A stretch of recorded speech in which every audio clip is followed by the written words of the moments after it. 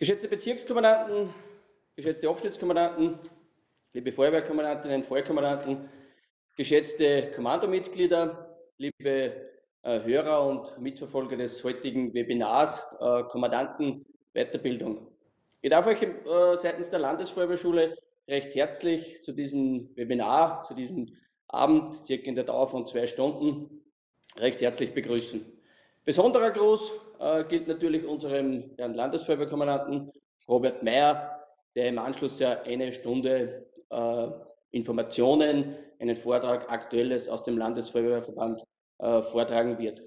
Ebenfalls herzlich begrüßen möchte ich unseren Landesfeuerwehrkommandanten Stellvertreter Michael Hutterer. Folgender äh, Ablauf äh, wird beim Webinar sehen. Und zwar bei Rahmenbedingungen äh, möchte ich euch noch äh, sagen, äh, wie das Webinar dementsprechend abläuft und wie es nach dem Webinar die Informationen euch zur Verfügung gestellt werden. Es folgt dann der Vortrag des Landesfeuerwehrkommandanten, aktuelles aus dem Landesfeuerwehrverband. Dann der zweite Vortrag, wie angekündigt, von Brandrat Markus Vogelhuber, aktuelles aus dem Bereich, Bereich Verbandsorganisation. Und ich mache dann nochmal den Schluss mit einer Zusammenfassung und einem kurzen Ausblick auf die weiteren äh, Kommandanten Weiterbildungssequenzen. Ja, der Kommandanten Weiterbildungslehrgang heuer erstmals, ja, ganz klar Corona-bedingt, äh, als Webinar. Also da regen Zuspruch gehabt. Äh, wir haben circa 800 Anmeldungen gehabt. Äh, alle Organe, Mitarbeiter des Landesfeuerwehrverbandes haben sich anmelden können und alle Kommandanten und Stellvertreter der oberösterreichischen Feuerwehren. Das heißt 800 äh, Anmeldungen aus, und das ist auch eine sehr, sehr erfreuliche Zahl, äh, circa 540 Feuerwehren Oberösterreichs. Es wird parallel, wir haben schon einige Webinare gehabt, eine Chat-Funktion geben. Das heißt, zum aktuellen Vortrag können Fragen gestellt werden. Es ist im Hintergrund wieder ein Team, das die Fragen beantwortet. Sollte die Frage nicht äh, sofort beantwortet oder vielleicht auch beantwortet werden können, im Anschluss äh, an das Webinar äh, versuchen wir, dass dementsprechend die Fragen beantwortet werden und es werden zusätzlich alle gestellten Fragen äh, gesammelt werden und dann auf der Homepage unter den äh, FAQs beantwortet werden. Ein Hinweis, das Webinar wird auch aufgezeichnet. Der Link wird dann zur Verfügung gestellt im Download-Bereich auf der Homepage des Verbandes. Weiters werden natürlich auch, wie gehabt, die Vorträge online zur Verfügung gestellt werden. Jetzt aber immer gleich äh, im Anschluss äh, an das Webinar, das heißt morgen oder übermorgen, sind die Vorträge online, weil ja die äh, Kommandanten Weiterbildungssequenzen immer mit anderen Themen beinhaltet sind. Ja, äh, der erste Durchgang des Netris ist ja beinahe beendet. Das heißt, mindestens 30 Läufer sind ja bereits im Ziel. Jetzt könnt ihr die nächsten zwei Stunden unserem Kommandantenweiterbildungswebinar lauschen, vor allem den Landesfeuerwehrkommandanten und natürlich unseren Brandrat Markus Vogelhuber. Und wir werden uns bemühen, dass wir pünktlich um 20.30 Uhr auch wieder fertig sind, wo ja ein Österreich in Führung liegt und um 20.45 Uhr der zweite Durchgang des Netris stattfinden wird. Herr Landesfeuerwehrkommandant, darf ich dich bitten um deinen Vortrag.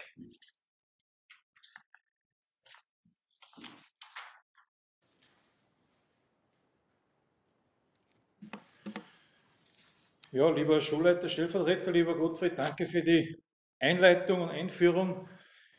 Ja, auch eine Premiere, ein erstes Webinar ist es ja nicht mehr, aber die erste Kommandantenweiterbildung in Form eines Webinars. Und ich darf alle ganz herzlich begrüßen, geschätzte Bezirkskommandanten, Abschnittskommandanten, liebe Kommandantinnen, Kommandanten, Führungskräfte der oberösterreichischen Feuerwehren, liebe Kameradinnen und Kameraden, ein herzliches Willkommen hier aus dem Lehrsaal 3 der Landesfeuerwehrschule Oberösterreich.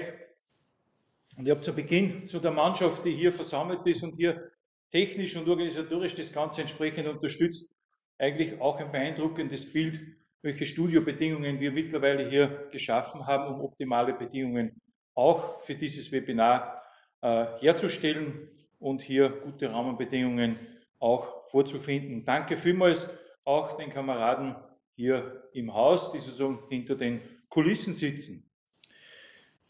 Ja, es ist schon eingeleitet worden. Ähm, wir alle leben und durchleben eine sehr außergewöhnliche und herausfordernde Zeit. Und ich denke, für uns alle geht es mittlerweile gleich.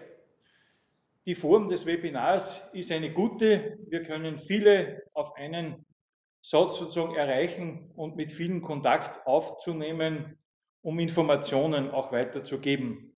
Was uns aber alle denke ich, fehlt, ist der Kontakt. Der Kontakt, sich auszutauschen, dass man face-to-face -face sich auch unterhalten kann. Ja, ich denke, das geht uns alle bereits sehr ab. Mir persönlich schon, wenn der Kontakt so sehr auch abreißt oder abgerissen ist, so freue ich mich ganz besonders, wann das wieder möglich sein wird. Aber, und das ist für mich persönlich schon auch der Ausblick, auf den ich auch heute nochmal zu sprechen komme, äh, ich bin guter Dinge, dass wir im heurigen Jahr doch wieder einiges hier erreichen werden können. Meine Ausführungen werden vielleicht heuer nicht ganz ein klassisches, ein klassischer Vortrag von mir sein, wie man vielleicht gewohnt ist. Äh, habe so gut wie keine Statistik heuer mit dabei. Ich möchte einfach zwei Punkte beleuchten, weil sie doch in den letzten zwei Jahren oder im letzten Jahr und im heurigen Jahr einfach besondere Zeiten sind. Und da möchte ich ein bisschen zurückschauen und auch einige Punkte einfach ansprechen, die oftmals so in der Darstellung und in der Kommunikation so gar nicht möglich waren, das auch sozusagen zu informieren in, in alle Bereiche. Äh, möchte das eine oder andere Thema einfach im Rückblick durchaus auch einmal kritischer ansprechen, aber auch zu zeigen, warum sind vielleicht manche Entscheidungen getroffen worden äh, und warum manche nicht. Aber Ganz wesentlich ist es sozusagen auch in einem zweiten Teil ganz bewusst einen Ausblick zu machen, wo setzen wir nächste Schritte, wo geht es in die Zukunft und wie schauen die Planungen dazu auch aus. Wir wollen dieses Jahr sozusagen nochmal Revue passieren lassen. Es ist durchaus ein Rückblick auf 2020, äh, ein Jahr, das letztendlich vieles geändert hat, vieles verändert hat. Ja, vieles auch wahrscheinlich, das uns nachhaltig äh, beeinflussen wird, nachhaltig wahrscheinlich auch verändern wird. Und so manches kann man ja durchaus aus Lehren herausziehen, die für die Organisation, aber vermutlich auch für jeden persönlich auch Bedeutung haben. Der Blick nach vorne ist aber das Wichtigste aus meiner Sicht auch. Äh, und genau diesen Blick nach vorne, den sollten wir einmal mehr äh, ganz intensiv uns vornehmen. Insofern er darf sich gar nicht lang eintrüben lassen durch manche Entwicklungen, die vielleicht derzeit noch viel Unsicherheit mit sich bringen, sondern der klare Blick nach vorn ist es, der uns auch äh, leiten soll. Ja, ein Jahr 2020, das Jahr, ein Jahr ohne gewohnter Normalität.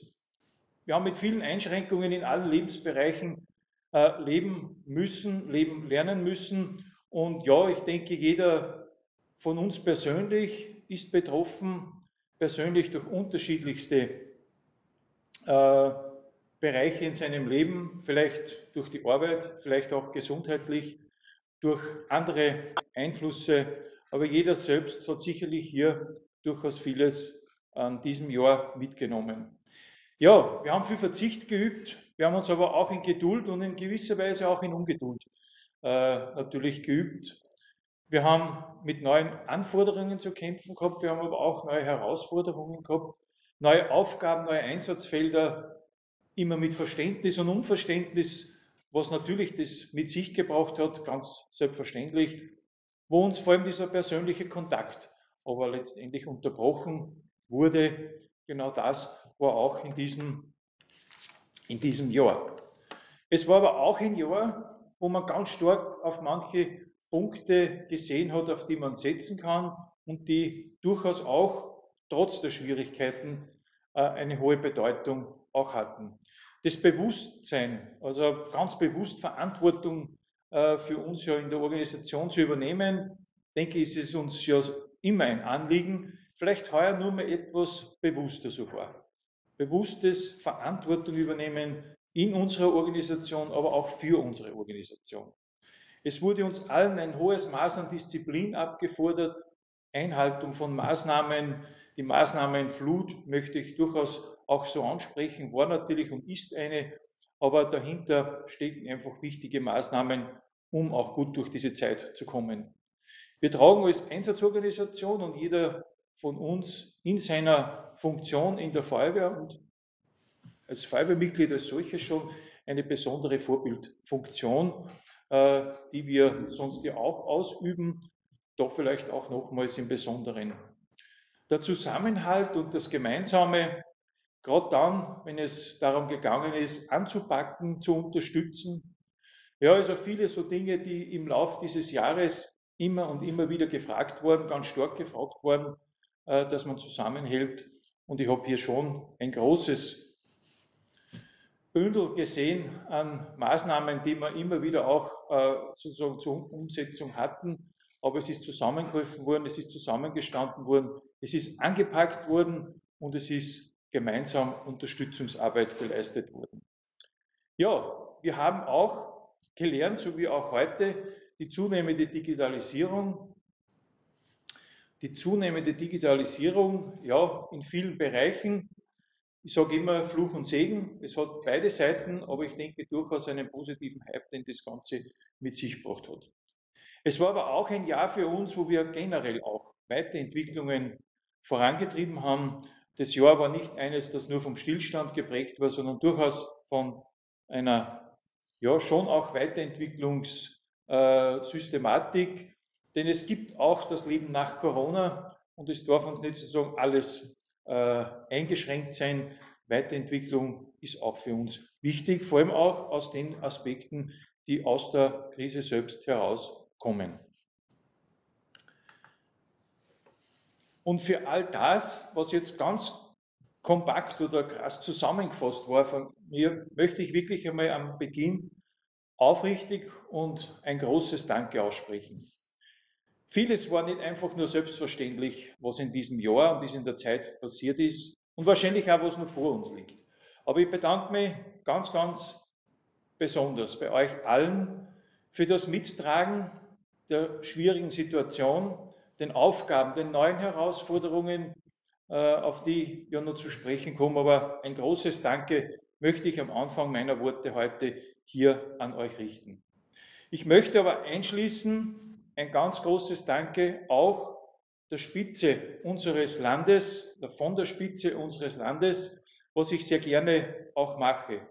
Ich darf die Dankesworte auch überbringen unseres Landeshauptmannes Magister Thomas Stelzer, seiner Stellvertreterin, Landeshauptmann Stellvertreterin Christine Haberlander, aber auch, und er hat es mir auch im Besonderen aufgetragen und ich mache es gerne, unser Landesrat Wolfgang Klinger, auch diesen Dank an euch alle weiterzugeben. Das mache ich ganz, ganz gerne, äh, denn ich denke, es ist auch ein Zeichen der Anerkennung und der Wertschätzung eurer Arbeit, eures Engagements in den Feuerwehren, in der Unterstützung und im Mittragen dieser schwierigen Phase der letzten Monate. Von meiner Seite auch ein besonderes Danke auch an unsere Bezirkskommandanten, an unsere Abschnittskommandanten, die natürlich auch eine besondere Aufgabe und Rolle in dieser Zeit äh, haben. Und ja, hier war vieles notwendig in den letzten Wochen und Monaten gemeinsam zu organisieren, gemeinsam mit euch allen. Aber Sie sind hier ganz entscheidende Bindeglieder auch für uns darinnen. Und Ihnen möchte ich auch an dieser Stelle ein herzliches Danke aussprechen. Ja, und damit möchte ich sozusagen einsteigen in das Thema Rückblick. Ja, und Rückblick, die Statistik als solches habe ich heuer gar nicht so sehr mit. Wir haben am, am 18. Februar die Jahrespressekonferenz äh, gemeinsam mit dem Landeshauptmann und dem Landesrat, wo wir auch Statistiken präsentieren werden. Daher möchte ich das gar nicht so sehr in den Fokus nehmen. Generell war es neben Corona ein durchaus ruhiges Einsatzjahr, aber es war natürlich in vielen Bereichen absolut gebremst. Wenn man sich die erste Zeit der Corona-Krise anschaut, wo ja vieles stillgestanden hat, ja auch im Bereich der Gewerbe, Industrie, Handel, alle Bereiche waren geschlossen und so hat sich auch das Einsatzgeschehen verändert.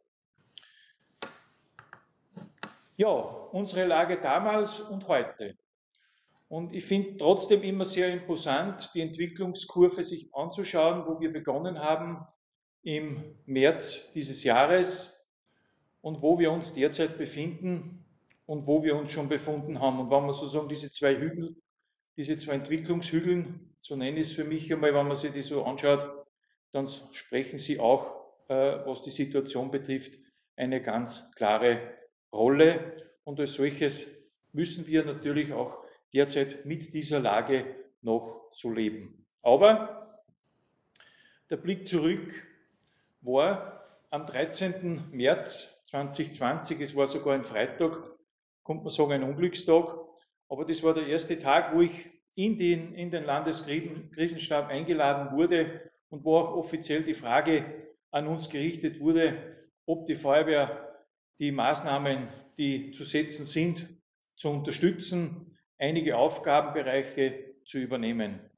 Noch gar nicht so sehr wissend, was alles auf uns zukommen wird, so waren es manche Dinge, die wir zusagen konnten und manche Dinge, die wir aber gesagt haben, die können wir nicht zusagen. Und ein paar sind hier exemplarisch angeführt. Wir haben damals auch sehr zeitnah gemeinsam mit meinem Stellvertreter, Michael Hutter, zum Telefonhörer gegriffen und haben einmal alle Bezirkskommandanten durchgerufen, sie über, die sie über die Lage informiert und haben dann damals von allen die Zustimmung bekommen, ja, wir unterstützen äh, und wir nehmen die Aufgaben wahr. Da waren es vor allem diese Themen rund um die Vortriagen, weil dort große Sorgen bestanden haben, was die Krankenhäuser als solches betrifft. Ja, und aus dem heraus, denke ich mal, ist es einfach auch wichtig, vom Argument her, wir sind die größte Einsatzorganisation in diesem Lande.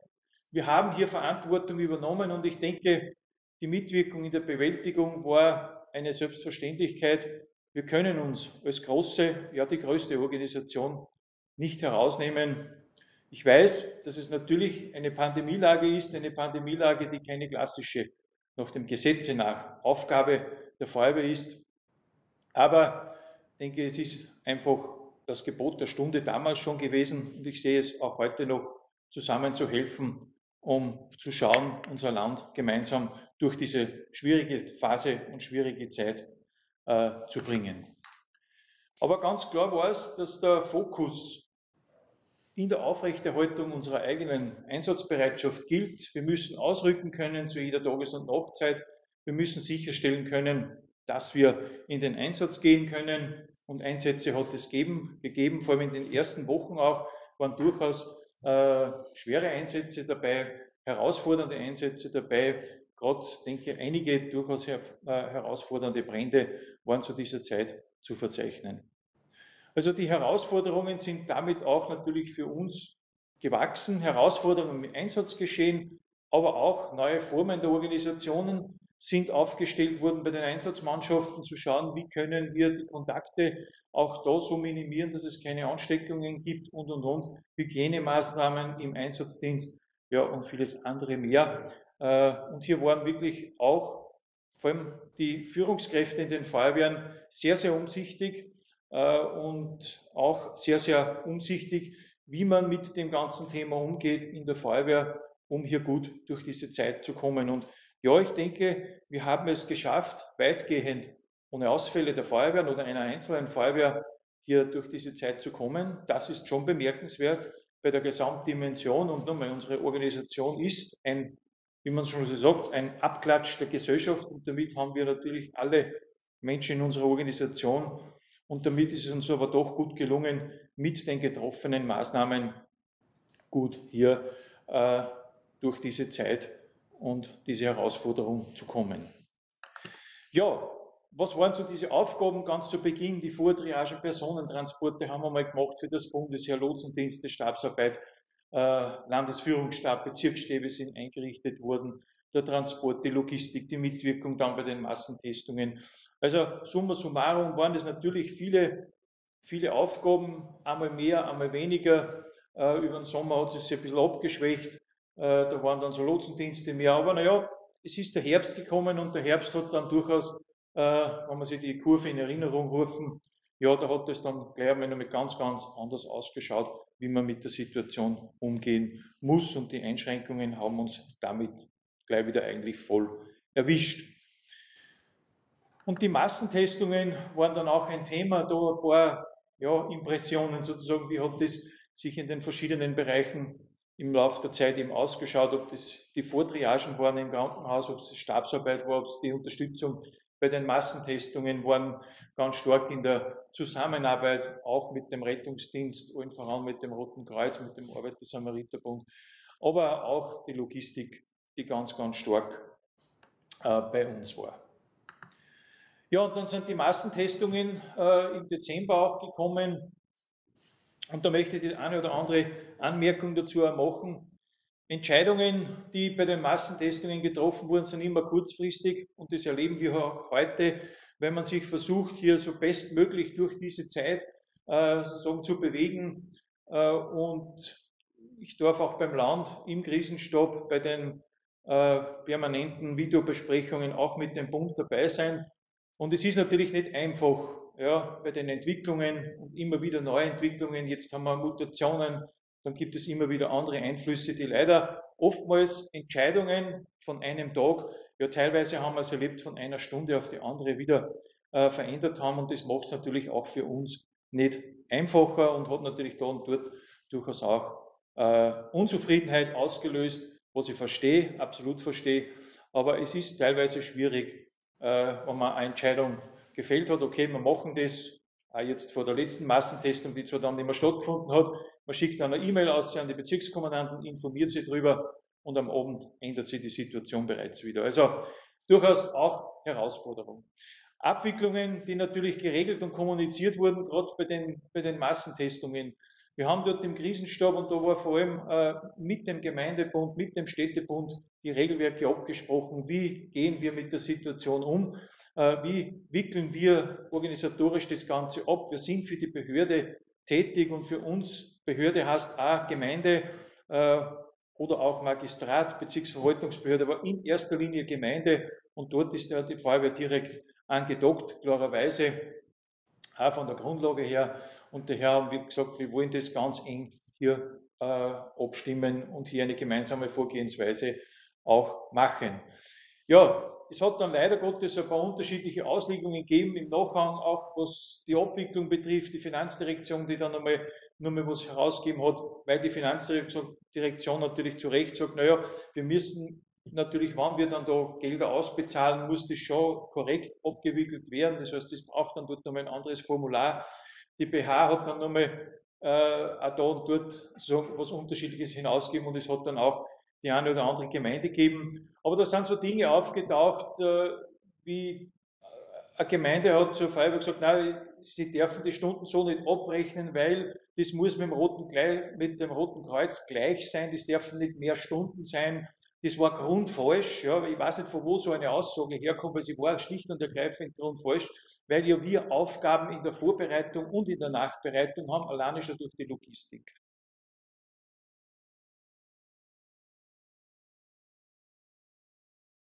Und so hat es leider Gottes einige äh, Fehlinformationen gegeben, aber wir haben dann versucht, gerade äh, da, äh, wo die Bezirkskommandanten ganz stark sich engagiert haben, dass wir das wieder dann äh, ins Lot gebracht haben.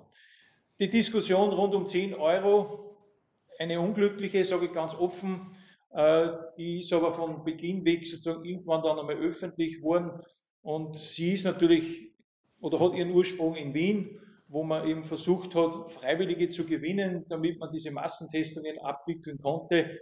Nur ein Freiwilliger, das ist mein persönlicher Ansatz dazu, ein Freiwilliger in Wien, wo es eine Berufsfeuerwehr gibt, eine Berufsrettung gibt, wo die Strukturen ganz andere sind, ist anders zu sehen als wie ein Freiwilliger im, im Lande sozusagen. Äh, und wir erleben in Österreich einfach 98 Prozent Anteil Freiwillige Feuerwehr und eben nicht Berufsfeuerwehr oder ähnliches. Das heißt, da hat es wahrscheinlich auch ein bisschen Auffassungsunterschiede gegeben. Es war dann ausgesprochen und damit war es leider Gottes so 10 Euro ja, versus 20 Euro. Aber eins ist mir besonders wichtig, weil es hat da und dort natürlich dann Diskussionen auch darüber gegeben, ist der Feuerwehrmann 10 Euro wert und ist das medizinische Personal 20 Euro wert. Im Besonderen wurde dann auch das Rote Kreuz angesprochen. Ich denke, es ist eine Diskussion, die so nicht passt und die wir auch so, glaube ich, nicht führen sollten, sondern für uns steht auch mit dem Rettungsdienst eine enge Zusammenarbeit und wir sollten uns da nicht sozusagen über diesen Weg irgendwo vielleicht äh, auseinander dividieren. Ich glaube, das ist es nicht wert, aber wir müssen es so akzeptieren und das gilt auch bei der einheitlichen Abwicklung. Es waren die 10 Euro, die werden äh, entsprechend ersetzt und auch da gilt einfach, das ist der vereinbarte Grundsatz und als solches gilt sie abzurechnen. Und ich weiß, es gibt dann Einzelne, die dann gesagt haben, ja, wir haben eine Tarifordnung und da stehen 24 drinnen. Ich weiß es, ja, aber vereinbart waren zehn und es gibt eine einheitliche Abwicklung in ganz Österreich, die, überall gleich war, mit einigen Ausnahmen, weil Bundesländer auch durchaus wesentlich höhere äh, Sätze dann verwendet haben. Dort gibt es aber jetzt äh, möglicherweise äh, so steuerrechtlich auch noch ein Problem. Aber das ist nicht unser Thema. Ich weiß es. Es war nicht unbedingt optimal, aber ich denke, äh, wichtig ist, dass wir das akzeptieren. Es ist so ausgesprochen worden und die 10 Euro werden hier mit uns gegengerechnet. Ja, äh, unsere Aufgaben speziell da waren und da auch noch exemplarisch die Logistik im Vorfeld, das Parkplatzmanagement, zu schauen, dass das funktioniert, der Lotsendienst dazu abgestellt, Betreuung im personellen Leitsystem, administrative Tätigkeiten, überregionale Unterstützung und vor allem auch Nachschub äh, summa summarum einfach etwas rund um das ganze Logistikthema. Zu den Massentestungen und ich finde die Zahlen sehr beeindruckend. Wir schauen zurück auf eine Massentestung im, Jahr, im Dezember und wie wir dann sagen, da auch die Statistik für den Bericht, für den Landeshauptmann und für die, auch für die Regierungsspitze in Oberösterreich und den Krisenstab vorbereitet haben, durchaus sehr, sehr beeindruckend gewesen äh, in der Gesamtdimension aller, die hier eingesetzt waren in der Vorbereitung am Testwochenende oder an den Testtagen, äh, die hier tätig waren. Und ja, diese Zahlen können sich sehen lassen und das war großartig, wie hier die Feuerwehr in Oberösterreich diese Testungen unterstützt hat und nur mal auch dafür ein großes Danke für diese perfekte Arbeit, die hier geleistet wurde. Da vielleicht eine, sozusagen eine Darstellung, die bei uns einmal gemacht worden ist, wo sind überall äh, Bewegungen gemacht worden, in welche Bereiche sind überall äh, ja, Transporte passiert, wo sind welche Sachen hingekommen, wie war die Verteilsystem, das geht ja in dem Fall nur auf die Bezirksumschlagplätze äh, und hier ist sehr, sehr viel natürlich durch das flächendeckende Feuerwehrnetzwerk passiert. Und genau das, denke ich, ist auch die Stärke. Und das führt mich auch zu dieser Folie. Der Logistikeinsatz war natürlich eine Herausforderung und es hat auch seine Schwierigkeiten gegeben, äh, vor allem beim letzten Mal natürlich, weil die Testungen dann abgesagt wurden, viel Material schon in den Bezirken verlagert wurde und jetzt sozusagen die Umschichtungen haben stattfinden müssen. Da äh, ist es natürlich äh, eine besondere Herausforderung. Manche haben schon erledigen können, ist das abgewickelt worden und abgeschlossen. Bei manchen braucht es noch den notwendigen, den, den, den, Schluss, äh, den Schlusssatz dazu. Aber es hat sehr, sehr gut funktioniert und auch da, und das habe ich erst gestern bei der Besprechung im Krisenstab auch wieder mitgenommen, auch jetzt, trotz dieser erschwerten Bedingungen, funktioniert das Zusammenspiel mit der Feuerwehr hervorragend.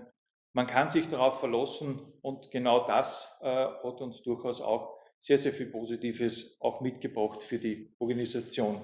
Und das war doch etwas weil wir uns um Dinge angenommen haben, die natürlich jetzt nicht klassisch wiederum unsere Aufgaben sind, aber wir haben uns damit, sozusagen, wir haben uns befasst damit, wir haben Lösungen präsentiert und diese Lösungen haben vielseitige, äh, vielseitige äh, Aspekte. Wir haben schon zu Beginn der Pandemie diesen S4 von der Behörde äh, unterstützt mit der Planungszelle, wo wir Kräfte vom Haus dort eingesetzt haben, wo ja, Programmierarbeiten passiert sind, Planungsarbeiten und, und, und, bis heute, dass wir einfach auch elektronische Plattformen entwickelt haben, Teams, damit man dort gute Abwicklungen hat und auf der anderen Seite eben unsere Strukturen, die uns helfen, immer auch in die Fläche gut das Material zu transportieren. Und genau das, denke ich, sind auch unsere Argumente, unsere Stärken, dass wir ein flächendeckendes Netz von Feuerwehr haben, Äh, das ist ja das Besondere auch. Damit können wir mit der Nähe zu den Bürgern rasch vor Ort sein.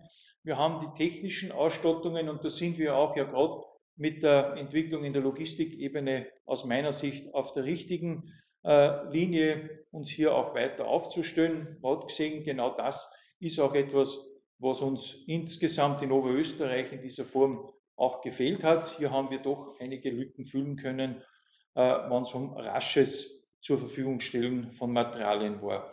Und doch die Personalaufwände im Logistikbereich sind, ich darf das so sagen, keine so großen Personalaufwände, äh, wie wir es vielleicht von anderen Großereignissen gewohnt waren, aber es war durchaus auch ein anspruchsvoller, der da notwendig war. In dem Zusammenhang möchte ich auch äh, ein Thema ansprechen, was mir wichtig ist, und zwar hauptamtlich versus ehrenamtlich. Bin natürlich auch immer wieder mal angesprochen worden, äh, ja, das sind die hauptamtlichen Touren, die werden jetzt halt dafür, wie man so lapidar oft natürlich dahin sagt, ja, das ist richtig. Und mir ist es aber wichtig, jetzt in ein paar Punkte schon auch darzustellen, dass wir sehr wohl und in sehr vielen Bereichen und sehr viele unserer Mitarbeiterinnen und Mitarbeiter hier aus dem Landesfeuerwehrkommando Hand angelegt haben und wahrscheinlich das nach außen hin nie sichtbar geworden ist. Und daher möchte ich es durchaus auch heute hier in dem Kreis einmal schon auch erwähnen, dass hier vieles vom Haus geleistet worden ist, um auch die freiwilligen Strukturen zu entlasten. Und es war das durchaus auch immer wieder so getragen von dem, dass wir Unterstützung von der freiwilligen Seite, aber auch von der hauptamtlichen Seite hatten. Ja, und wir haben gerade äh, im Bereich der Logistik ganz viel Arbeiten ja übernommen im Zentrallager, wo die zentrale Auslieferung war durch die Spedition oder ja immer noch stattfindet.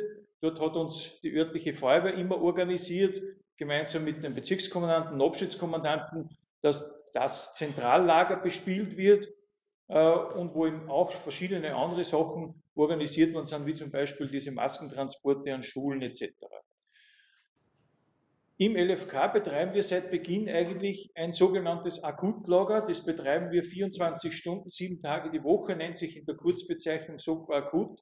Und dahinter steht, dass immer abrufbereit äh, eine Mannschaft steht, die sofort einschreitet, wann wo Schutzmaterialien äh, ausgegangen sind. Gerade in der ersten Phase äh, war das ganz wesentlich oder auch in den Herbst hinein in beispielsweise Betreuungseinrichtungen, in sozialen Betreuungseinrichtungen oder, oder, oder. Also dort einzuschreiten und das war genauso am Samstag oder am Sonntag oder auch spät abends, dass dort Hand angelegt wurde. Speziell diese zweite Covid-Phase, die im Herbst dann begonnen hat, äh, haben wir eine Vielzahl an Aufgaben dann insgesamt an uns gezogen. Beispielsweise die Zentrallagerunterstützung, ich werde noch ein paar Zahlen dazu auch präsentieren, viele Transporte in ganz Oberösterreich, die von uns abgewickelt wurden und weiterhin dieses Soko-Akutlager 24-7. Und seit Beginn die permanente Mitwirkung im Krisenstab äh, und natürlich auch in der Planungszelle äh, S4 Behörde, der eine ganz wesentliche Funktion letztendlich hat in der Organisation von Schutzmaterialien. Und da ist schon auch von unseren Kräften vom Haus in diesen Zeiten immer wieder auch, und ich betrachte jetzt nur einen Teil, und das ist dieses sogenannte Zentrallager, wo wir hauptberufliche Mitarbeiter äh, abgestellt haben, permanent, dazu Zivildienstleistende, wo durchaus schon auch, wenn man die Personentage sich anschaut, sich einiges angehäuft hat. Äh, und wir hier über viele Wochen her jetzt eigentlich immer wieder permanent Leute dort auch abgestellt haben. Ja, von der ersten Massentestung des Thema Soko akut, wo wir im Bereich oder in dieser Phase dieser ersten Massentestung insgesamt auch sechs hauptberufliche Kräfte im Hintergrund immer aktiv halten. Äh, Gerade das Handschuhthema war ja beispielsweise eins, sodass wir das rasch abwickeln können. Und auch da äh, dahinter haben wir uns entsprechend eingebracht. Und ja, die zweite Massentestung, auch da wurde es vieles in der Vorarbeit geleistet. Mir war das wichtig, auch heute einmal zu erwähnen, weil es immer wieder mal auch natürlich äh, die, ja, wo ich darauf angesprochen worden bin, ja, was machen denn eigentlich, eigentlich die Hauptamtlichen, die sollen ja auch was tun in dieser Richtung. Ja, wir tun, wir tun wahrscheinlich viel mehr, als was nach außen sichtbar ist, aber wir berichten da nicht jede Woche über dieses Thema. Und ich denke, das sollte auch kein Konkurrenzdenken oder irgendwas entstehen oder, oder eine, eine, eine falsche Denke da entstehen. Aber auch da gilt für mich persönlich, auch bei meinen Mitarbeiterinnen und Mitarbeitern im Landesfeuerwehrkommando, wirklich Danke zu sagen, weil es hat keiner drauf geschaut, wie viel Uhr ist und wie lange arbeitet man schon. Und jeder, der im Job steht, weiß, es gibt Arbeitszeitgesetze, es gibt Richtlinien, nach denen wir auch als Arbeitgeber uns richten müssen. Aber das war kein Thema. Jeder hat anpackt, jeder hat mitgeholfen und äh, hat da wirklich auch seinen Beitrag geleistet.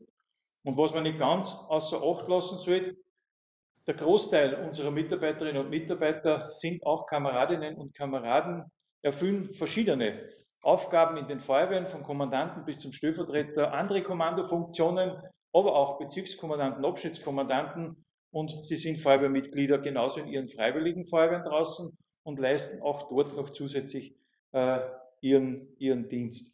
Und ich denke, das macht es auch aus, äh, dass sozusagen das Engagement sowohl in einer hauptamtlichen, aber auch in der freiwilligen so hoch ist. Bitte, das war mir wichtig, einfach auch einmal zu beleuchten, äh, dass hier auch von unseren Mitarbeiterinnen und Mitarbeitern sehr wohl Hand angelegt wird äh, in verschiedenen Bereichen. Und wie gesagt, das ist nur ein Teil, der da genannt ist. Es sind noch viele andere Teile, die da mitwirken, so im Hintergrund. Würde aber jetzt sicherlich einmal den Rahmen sprengen, aber selbst wenn ich da jetzt bei mir in den Raum schaue und ich schaue jetzt zu Markus Vogelhuber hin, der da wesentlich äh, in der Organisation äh, mitgewirkt hat, der Gottfried im Stab und der Stabsorganisation, die IT, die wir brauchen, damit unsere Systeme funktionieren. Also da läuft auch im Hintergrund sehr, sehr vieles ab, was wahrscheinlich etwas äh, im Hintergrund nur stattfindet.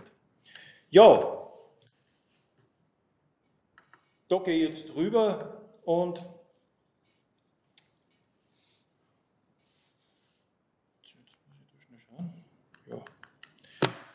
Initiativen und Anpassungen ist so auch eines der Themen gewesen in dieser Zeit. Äh, ich möchte besonders, da gäbe es auch mehrere, aber ich habe mir versucht, einfach ein paar heraus äh, zu picken aus dem Ganzen, was besonders für mich auch äh, bedeutend war, vor allem die Initiativen rund um unsere Jugend, gerade in der ersten Phase, kreative Ideen, die da entstanden sind. Ich habe es da so unter Beschäftigungsprogramme mal äh, hingeschrieben, aber ich denke, es war vieles andere, was da einfach an Ideen entstanden ist, wie wir unsere Feuerwehrjugend nicht nur bei Laune halten, sondern auch, dass man diesen Kontakt nicht abreißen lässt zu ihnen und dass der Kontakt hergestellt ist. Äh, und auch zu schauen, dass sozusagen auch da die Jugend nicht ganz äh, zu kurz kommt. Der Versuch, die Wissenstest-App rasch zu entwickeln, ist äh, aus meiner Sicht sehr gut gelungen, einen Prüfungsmodus zu machen, damit man zumindest in der Zeit, wo dann der Lockdown gelockert war, wo es möglich war, auch einen Wissenstest abzuwickeln. Ich denke, auch das äh, war, war wichtig, äh, dass man da gewisse Normalität dazwischen auch mal für die Jugend bereitstellen hat können. Ein zweiter Aspekt, den ich da in diesem Zusammenhang einfach äh, erwähnen möchte, auch das sind Dinge, die, die durchaus bedeutend sind. Wir wissen alle, dass unser Feuerwehrsystem nach Gesetzen letztendlich geregelt ist. Ja, nicht immer äh, zu allem Verständnis, aber es hilft uns einfach viel, viel mehr, wenn wir eine gesetzliche Grundlage haben. Aber es schafft natürlich auch unter so einer speziellen Bedingung dann durchaus seine Herausforderungen. Und so war es auch wichtig, dass beispielsweise unsere Juristin äh, Marisa Figalla dann drauf geschaut hat, welche Bereiche müssen wir möglicherweise äh, machen in enger Abstimmung mit Markus Vogelhuber. Vollversammlungen, die plötzlich nicht mehr durchgeführt werden können, aber gesetzlich verpflichtet sind, Voraussetzungen für den Kommandanten, der aber seine Lehrgänge jetzt nicht erfüllen kann und eigentlich müsste jetzt der Wahl stattfinden, weil er diese Voraussetzungen nicht erfüllt. Wie kommen wir zu Beschlüssen, wenn wir nicht zusammenkommen dürfen? Äh, ein Umlaufbeschluss steht nirgends im Gesetz geschrieben, dass ich den tun äh, darf, der ist rechtlich nicht zulässig. Oder eben auch, darf man für eine Kommandositzung eine Videokonferenz nutzen, darf man das tun, wenn ich da drinnen dann vielleicht sogar Abstimmungen mache. All das sind rechtliche Fragen, die äh, nur da ein Auszug, sozusagen eine Punktation, aber da sind viele Bereiche, die einfach notwendig waren anzuschauen. Da haben wir Regelwerke, wir haben Änderungen im Feuerwehrgesetz, äh, dadurch äh, durch den Landtag äh, beschließen lassen können. Und da wird auch der Markus in seinem Vortrag nur ein paar, äh, die eine oder andere Information geben, speziell wenn es in Richtung der Vollversammlungen geht. Weiterentwicklungen haben sie auch fortgesetzt. Ich habe es am Beginn schon gesagt, wir haben auch versucht, in vielen Bereichen zu schauen, dass wir die Weiterentwicklung voranführen. Äh, da auch ein Bereich oder einen Bereich exemplarisch herausgenommen, die Weiterentwicklung im Stützpunktsystem, das Logistikkonzept, Einsatzführungsunterstützung, die digitale Einsatzführungsunterstützung als, als ein Thema. Äh, die Drohnen waren schon ein Thema. Wir haben das, den ganzen Bereich der Ölwehr äh, speziell bearbeitet. Der Stromerzeuger, die Stromerzeuger selbst sind derzeit in Auslieferung schon. Das ist in Umsetzung und auch ein neues Konzept für die Tunnelstützpunkte ist erstellt worden. All das läuft ja bei meinem Stellvertreter, bei Michael Hutterer zusammen. Da ist ganz, ganz viel auch in dieser Zeit äh, passiert, um sozusagen nicht das Jahr eines Stillstandes zu haben, sondern durchaus dann im heurigen Jahr entsprechend auch da weitere Schritte widersetzen zu können. Also es hat sich schon auch da einiges bewegt. Ja, und ein Thema, das habe ich auch nochmal mitgenommen, weil es mir wichtig ist und die Truppführerausbildung. Wir haben in einem Webinar ganz ausführlich darüber schon berichtet, äh, was steckt dahinter, was waren die Beweggründe, was, was sind auch Motivatoren gewesen, dass wir das überhaupt gemacht haben, was liegt für Grundlage dahinter, die Umsetzung und vieles andere mehr. Ich denke, das Webinar gibt es auch zum Nachsehen und Nachhören. Auf das möchte ich gar nicht mehr drauf eingehen. Aber ich möchte einfach nur mal wirklich darauf äh, bewusst hinweisen. Es gibt natürlich auch ja, von denen, von vielen, wo wir positive Rückmeldungen dazu bekommen haben, gibt es natürlich auch die kritischen Stimmen, das ist selbstverständlich. Ich möchte aber einfach nur einladen dazu, dass man durchaus bewusst drauf schaut, einmal wirklich, welche Chancen und welche Möglichkeiten da dahinter stehen, bevor man sozusagen gleich in die ablehnende Haltung geht. Wirklich bewusst dahinter schauen, weil da sind viele Möglichkeiten äh, drinnen, die es sich lohnen, wirklich auch lohnen, äh, ganz bewusst einmal drauf zu schauen. Und ich denke, es ist für uns das Ausbildungsthema insgesamt ein wesentliches, denn nur eine gut ausgebildete Mannschaft ist ja doch die wesentliche Basis für euch Kommandanten. Und sie in den Einsatz geht und ihr wisst, eure Mannschaft ist gut drauf, gut ausgebildet und die Herausforderungen an der Einsatzstelle, die werden nicht einfacher. Und ich denke, da ist Ausbildung neben der Motivation und neben einer guten Mannschaft natürlich ein wesentliches Element. Es sind immer wieder auch Forderungen aufgetaucht und das möchte ich da nochmal ansprechen, weil das hängt natürlich in engen Zusammenspiel. Wenn man sagt, ja, warum darf ich denn jetzt erst nach der Druckführerausbildung, nach der Übergangszeit äh, erst in die Fiberschule? Naja, es hat schon auch eine Bedeutung, weil sich Wissen anzueignen, sich sozusagen mal fit zu machen, ist die eine Geschichte. Aber es braucht auch und soll auch eine Zeit geben, wo das Erlernte gefestigt werden kann und wo auch das Gelernte wirklich angewendet wird. Und sozusagen nicht nur den theoretischen Teil, ich mache schnell meinen mein Kurs, wenn ich meinen Kurs fertig habe, den Kreuzeltest, das mache ich auch nur schnell und dann gehe ich gleich in Feuerwehrschule und mache auch und und und. Und das ist, glaube ich, auch nicht in Ordnung. Das macht man im beruflichen Umfeld, ist es, denke ich mal, nicht viel anders. Man festigt sich ja auch das Wissen und wendet das einmal an. Und auch das ist eine dieser oder einer dieser, dieser Punkte. Aber auch ein anderer ist es, wir müssen auch innerhalb der Feuerwehrschule und unserem Bildungssystem Veränderungen vornehmen, weil es auch natürlich Forderungen gibt, dass es zu Veränderungen kommen muss. Zum einen kommen Forderungen aus euren Reihen. Es braucht da und dort mehr Lehrgänge. Wir müssen das Angebot erweitern. Gerade in der Führungskräfteausbildung braucht es neue, neue Modelle. Speziallehrgänge im Sinne äh, Technik, Technologien etc. sollen Platz haben und vieles andere mehr. Das schaffen wir aber nicht, wenn wir sozusagen nur an kleinen Schrauben da drinnen drehen. Da brauchen wir größere und so an einer Schraube gedreht ändert trotzdem das gesamte Getriebe der Ausbildung. Ja, und Anpassung von Lehrgängen, das findet bereits statt. Hier wird bereits in der Feuerwehrschule an äh, einigen Punkten zum Beispiel Gruppenkommandantenlehrgang oder Zugskommandantenlehrgang, wird an Veränderungen gearbeitet. Und das sind einfach Führungslehrgänge. Sie heißen auch auf Bundesebene Führen 1 und Führen 2. Und da drin ist der Gruppenkommandant und der Zugskommandant und auf das wird es auch hinausgehen, dass es schwerpunktmäßig wirklich auch dieser Führungslehrgang äh, als solches ist. Und der ist, denke ich mal, ja entscheidend, der ist auch wichtig, Führungskräfte auszubilden.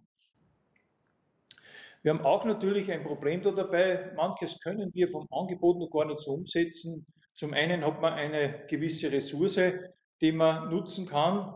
Und der zweite Bereich ist es, jeder, der die Feuerwehrschule und unser Areal kennt, weiß, dass wir derzeit eingezäunt das haben.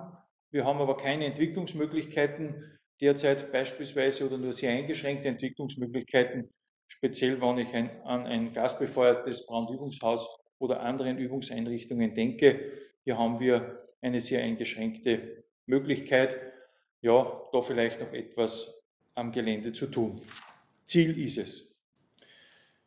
Ja, und von dem möchte ich jetzt zu einem ableiten, zu einem Thema, was mich gerade in den letzten Tagen schon auch sehr beschäftigt hat und ein bisschen nur weiter zurückblickend, aber gerade mit dem, der Druckführerausbildung auch so eines dieser auslösenden Punkte war.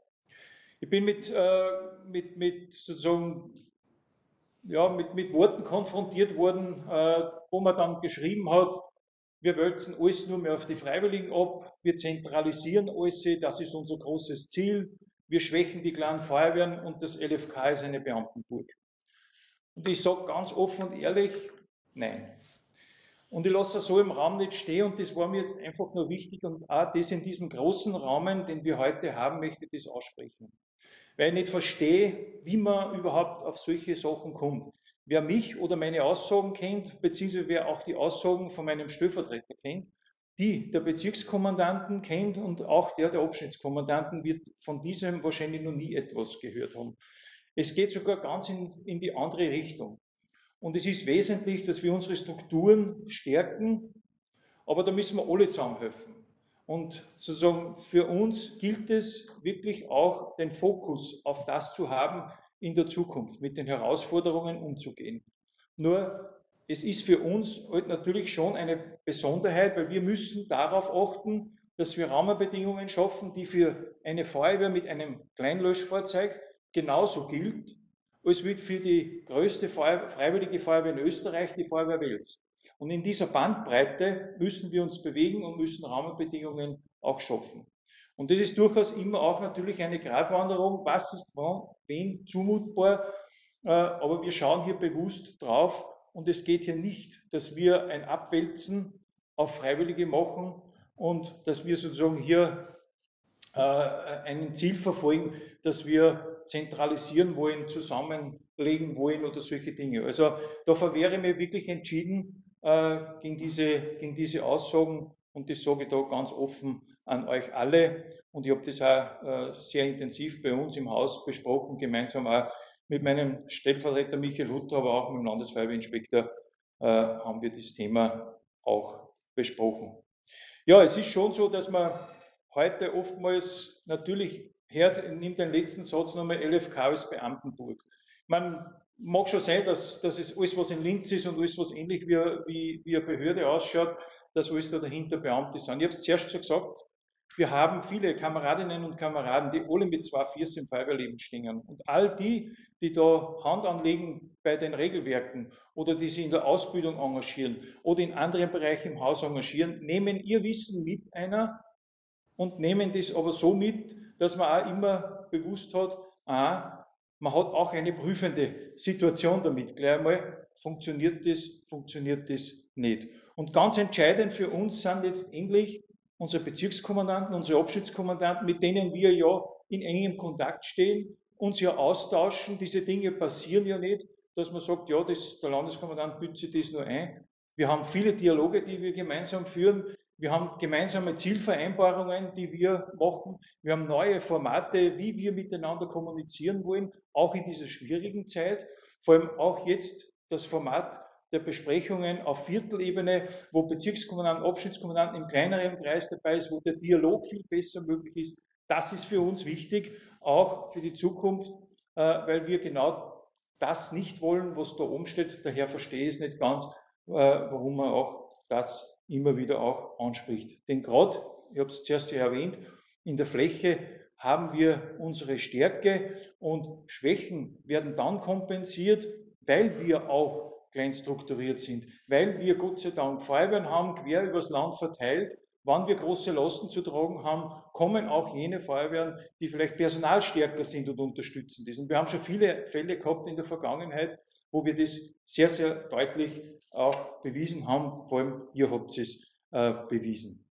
Also das ist mir auch wichtig und zu dem Thema Praxis und Praxisbezug und äh, auch ich darf mir das wirklich also, äh, ich sage es jetzt fast herausnehmen, aber auch mit meinem Stellvertreter, wir beide. Ja, weil man natürlich immer sagt, wir sind in Linz. Linz, das ist dann so ein bisschen schon abgehoben und immer von oben herab. Das ist es nicht.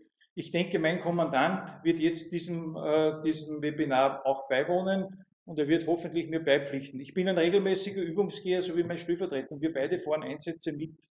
Äh, ja, ob Atemschutz oder sonstige Ausbildungen, wir haben sie und wir machen sie und wir tun sie. Und das möchte ich schon bewusst sagen, äh, dass wir nicht nur Feuerwehrtheoretiker sind, sondern sehr wohl wissen, dass wir den Kontakt zur Basis nicht verloren haben.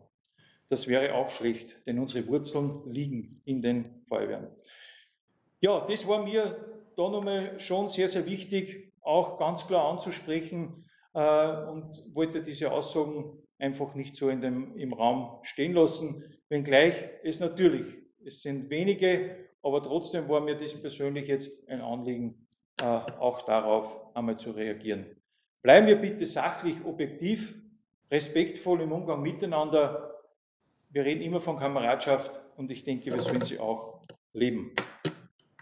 Ja, und damit möchte ich jetzt diesen Wechsel machen und den Teil vom Rückblick abschließen und jetzt in den Ausblick gehen. Mit Zuversicht und positiver Einstellung möchte ich wirklich nach vorne schauen. Und ja, wir haben auch mit den Bezirkskommandanten bereits einiges in Planung, das wir in der Videokonferenz von letzter Woche auch besprochen haben. Und wir werden versuchen, Normalitäten auch herzustellen. Schrittweise. Ja, das muss man dazu sagen, das wird nicht alles auf Schlag passieren können, das wird nicht alles auf Knopfdruck passieren können. Schrittweise wollen wir Normalität in unser Feuerwehrleben bringen. Mit Sorgfalt und Disziplin natürlich, weil die brauchen wir nur, weil wir haben geltende Covid-Bestimmungen. Wir haben die Ampelregelung, auf die möchte ich nochmal hinweisen, auf der Homepage bitte zu schauen. Da ist die letzte Version immer drauf, wo die Regelung ist, was ist derzeit möglich, welche äh, Bereiche können wir äh, in welcher Form auch derzeit nutzen. Aber es geht darum, dass wir den Ausbildungs- und Übungsbetrieb schrittweise wirklich aktivieren. Derzeit ja bereits möglich in Kleingruppen bis zehn äh, Mitglieder, dass Übungen auch stattfinden äh, mit entsprechend Maßnahmen dazu. Das glaube ich brauche ich nicht dazu sagen. Wir haben das Thema Aus- und Weiterbildung an der Landesfeuerwehrschule, da komme ich nachher nochmal gesondert dazu. Wir haben besprochen äh, mit den Bezirkskommandanten, dass wir auch Ausbildungen in den Bezirken genauso wie die ermöglichen, die ausgelagerten Lehrgänge können stattfinden, aber auch Vorbereitungen zu den Fuller-Bewerben, FLA Gold, WLA Gold-Bewerbe. Wir planen auch in diese Richtung. Jugendarbeit ist natürlich ein Thema. Die Jugendarbeit, die Jugendarbeit haben wir derzeit reduziert auf Online-Versionen. Aber wir richten uns da nach den Schulen und solange die öffentlichen Schulen geschlossen sind, äh, können wir fast nicht sagen, wir sperren bei den Feuerwehren auf, so schwer es uns alle fällt. Äh, da ist einfach nur mein Aufruf, mein Appell, bitte lasst den Kontakt mit euren Jungfeuerwehrmitgliedern nicht abreißen, sucht halt die Möglichkeiten. Sie sind ja mittlerweile vom Homeschooling gewohnt, dass man zumindest vielleicht einmal die Möglichkeit über eine äh, webbasierte Lösung schaut, dass sie an der Feuerwehr immer wieder nur ihren Gefallen haben. Ja, Funkbewerb, ich habe schon gesagt, werden wir planen. Es gibt ein Umsetzungskonzept für einen Fuller-Bewerb im Haus, für FLA, für WLA. Werden wir schauen, dass diese Bewerbe durchgeführt werden können. Äh, zum gesamten Bewerbsthema SÖM gibt es viele Abstimmungen. Die Bewerbsleitungen österreichweit haben auch äh, ein Konzept erarbeitet, wie ein Abschnitts-, ein Bezirksbewerb, ein Landesbewerb, ja, selbst, und das hoffen wir auch noch, dass der Bundesbewerb dann tatsächlich so stattfinden kann, dass all diese großen Events auch eine Möglichkeit finden äh, im Sommer. Aber wir wollen uns auch bewusst nur auf diese Bewerbe konzentrieren und heuer mal bewusst Abstand nehmen von anderen Bewerbsveranstaltungen. Es gibt auch keine Beteiligung im Ausland oder durch das Ausland oder sozusagen diese Kontakte werden da heuer nicht stattfinden. Aber wichtig ist, dass wir versuchen werden, Lösungen anzubieten, um zumindest Bewerbe durchführen zu können. Und wir haben erst heute wieder in der Videokonferenz mit den Landeskommandanten auch darüber beraten, wann wir auch die Möglichkeiten dann wirklich so aktivieren können, dass die Bewerbsübungen natürlich in der gewohnten Form stattfinden können, gewohnten Form jetzt unter den, erneuten, unter den neuen Bedingungen klarerweise. Äh, aber ich denke, da war schon von Beginn weg auch wichtig, dass wir immer österreichweit einheitlich uns organisieren und auch gemeinsam hier an einem Strang ziehen. Leistungsprüfungen natürlich ebenfalls für mich persönlich ein ganz wichtiges Ausbildungselement. Auch da werden wir schauen, sobald es die Möglichkeiten wieder gibt, dass wir das wieder aktivieren können. Zum gesamten Bewerbswesen wird Hannes Niedermeyer ja im nächsten, beim nächsten Webinar am 29. berichten, äh, im Detail auch, wie das Ganze dann ausschaut. Ja, schrittweise Annäherung zur Normalität wird uns begleiten. Äh, die laufende Information zu der aktuellen Situation unbedingt beachten. Das möchte ich wirklich mitgeben. Wir werden schauen, dass wir da entsprechend immer die Anpassungen machen. Aber es hängt natürlich davon ab, wie die Gesamtentwicklung ist, wie die Regierung sich entscheidet oder die Regierungen sich entscheiden. Und nach dem können uns wir auch letztendlich herantasten zu den einzelnen Freigaben äh, in den jeweiligen Bereichen. Bitte nutzt auch die Testangebote in den Bezirken. Ich stehe dir jetzt überall zur Verfügung. Wenn man zum Beispiel eine Übung plant in der Feuerwehr, ad hoc denke ich mir, ist es zumutbar, dass man sagt, gut, lasst euch doch vorher mal testen. Äh, dann haben wir die Sicherheit, dass wir zu einer Schulung äh, zusammenkommen. Dann hat jeder ein bisschen ein besseres Gefühl vielleicht dabei, damit man dort Testungen, also sagen, als eine der Grundlage auch anwenden können. Maske, Abstand, ich glaube, da brauche ich nichts mehr dazu sagen. Hygienemaßnahmen, die verfolgen uns jetzt heute halt im Besonderen wieder, weil sich heute halt diese Bedingungen auch geändert haben. Zum Thema Feuerwehrschule. Der Betrieb ist seit 18.01. wiederum geöffnet äh, unter den bestehenden Hygienemaßnahmen. Ja, wir haben ein durchaus sehr strenges Konzept im Haus. Wir haben das Thema jetzt natürlich übernommen, FFP2-Masken, die wir ja den Lehrgangsteilnehmern, wenn sie zu uns kommen, ja zur Verfügung stellen. Die Lehrgangsteilnehmer werden getestet, äh, derzeit im Haus. Äh, auch etwas, was wir jetzt in einer permanenten Einrichtung umgesetzt haben, äh, hausintern. Nutzen auch da vielleicht die Permanenttestungen, wer in die Feuerwehrschule zu einem Lehrgang kommt, bitte auch da die Permanenttestungen draußen in den Bezirken nutzen, Bestätigung mitnehmen, sollte nicht älter wie 48 Stunden sein. Äh, es macht einfach die Abwicklung einfacher. Das ist nicht, weil wir es nicht, dass das selber nicht testen wollen im Haus. Das tun wir natürlich, aber es macht einfach die Abwicklung für den Einzelnen äh, einfacher. Das Lehrgangsangebot ist auf Kernlehrgänge reduziert. Nach wie vor, es sind einige Veranstaltungen, die derzeit nicht stattfinden und auch die Teilnehmerzahl ist weiterhin reduziert. Das ergibt sich einfach aus den Abstandsregeln, die wir natürlich genauso einhalten einhalten müssen. Wir werden versuchen, weitere Seminare anzubieten, äh, spezielle äh, Seminare zu einzelnen Themen. Da haben wir schon einiges jetzt auf Lager. Äh, auch der Markus wird da eins ansprechen. Auch da werden wir schauen, dass wir Informationen über den Weg auch weiterhin mit euch austauschen und kommunizieren. Ja, schrittweise Normalität. Geduld wird es leider doch noch wo brauchen, nämlich bei all dem, was schon auch geplant ist oder verschoben worden ist mit festen Veranstaltungen oder Freizeitaktivitäten. Dort wird es sicherlich noch länger äh, noch brauchen, bis es zu Entscheidungen kommt, dass da wieder was passiert. Ich glaube, das äh, ist uns alle bewusst. Äh, für uns muss im Mittelpunkt stehen unser gewohntes Feuerwehrleben, das einmal funktioniert von Ausbildung, Übung, bis hin auch zu den bereits genannten Aktivitäten. Dort wollen wir schauen, dass wir hinkommen. Ja, auch das ist es sozusagen, was uh, unter dem großen Titel, was nehmen wir uns für 2021 vor?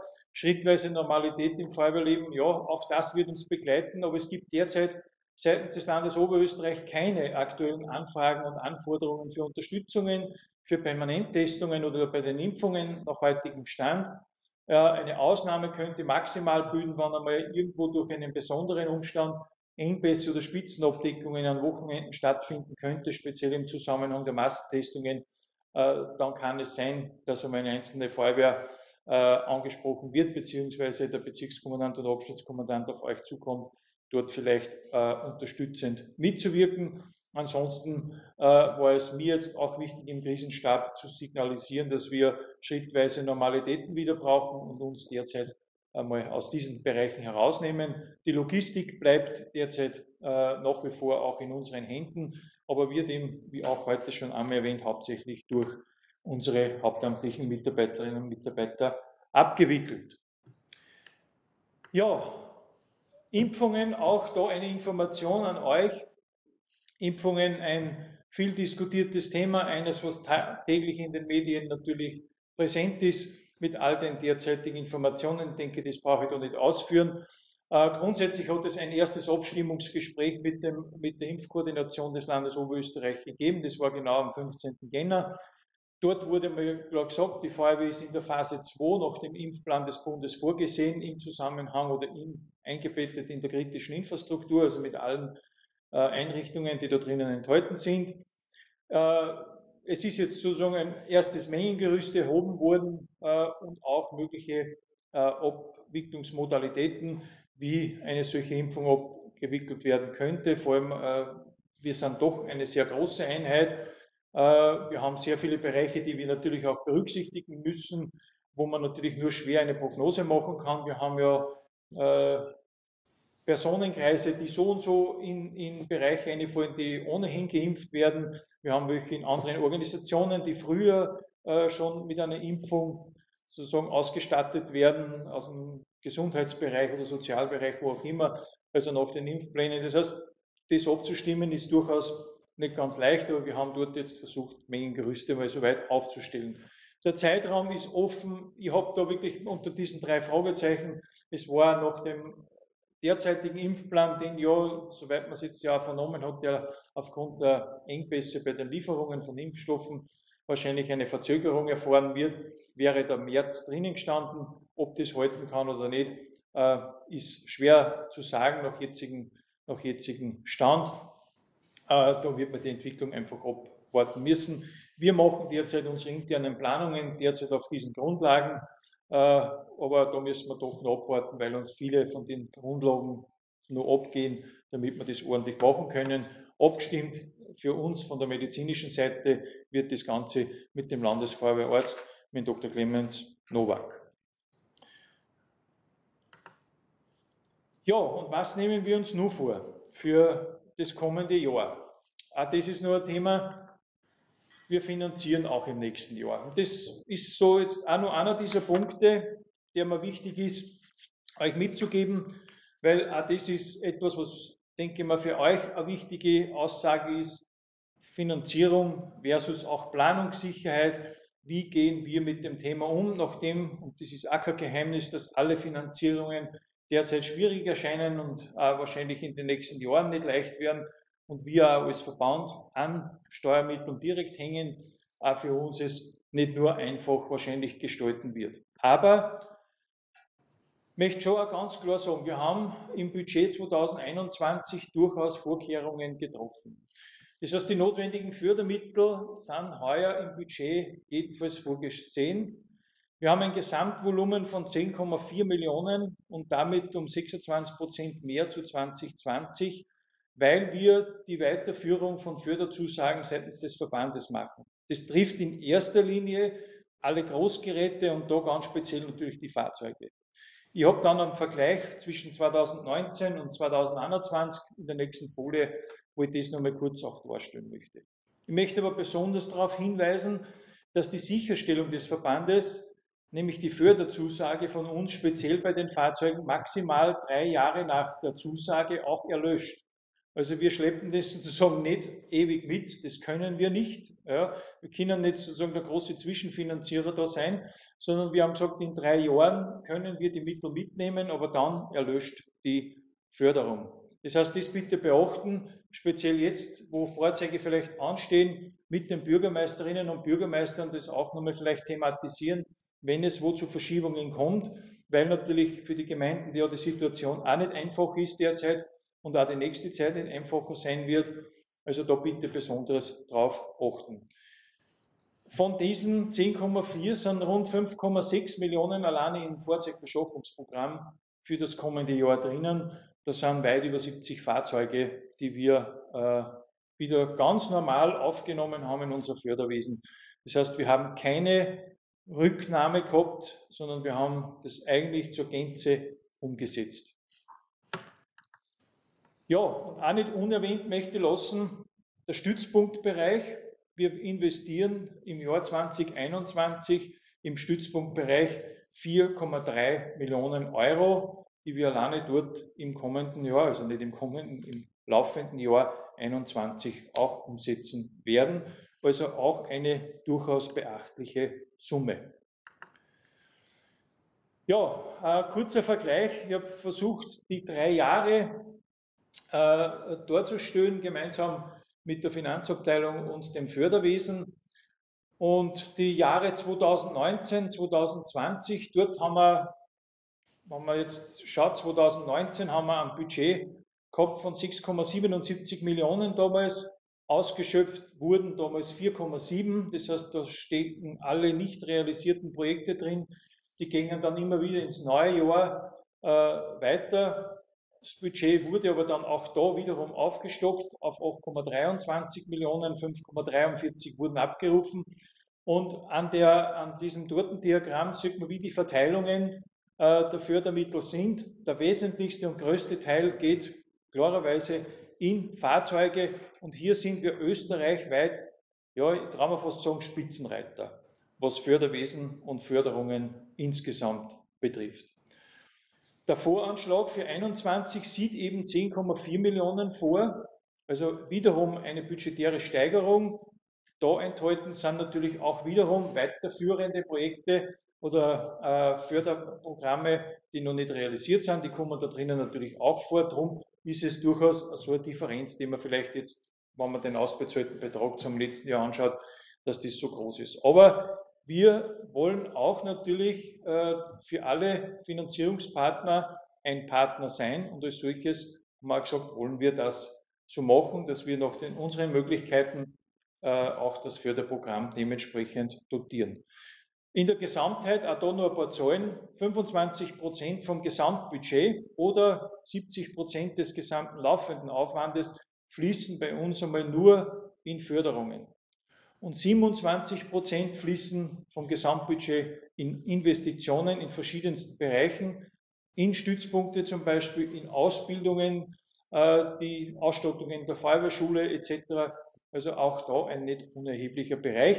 Das vielleicht einfach auch einmal zur Darstellung, äh, wie die Finanzgestaltung ist und bewusst auch den Ausblick oder vielleicht für euch die Planungssicherheit zumindest von unserer Seite an euch zu signalisieren. Unsere Fördermittel werden entsprechend ausgeschöpft. Ja, und wir finanzieren.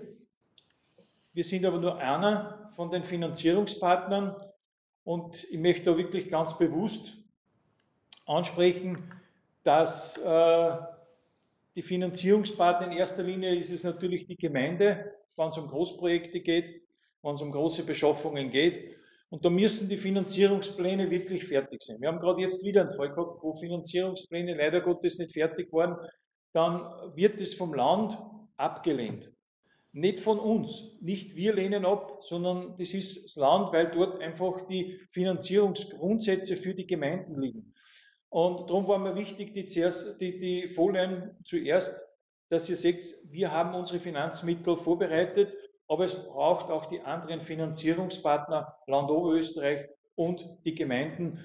Und die haben es allesamt genauso nicht leicht. Und daher muss man auch, denke ich mal, da äh, auf Augenhöhe miteinander reden, dass man zu Lösungen kommt, vor allem in den nächsten Jahren. Leider äh, eine Information, die mich gestern äh, erreicht hat, beziehungsweise angedeutet vorige, vorige Wochen, dass das Gemeindepaket, was jetzt geschnürt worden ist, dass dort Feuerwehrfahrzeuge nicht gefördert werden, also darf nicht dazu verwendet werden.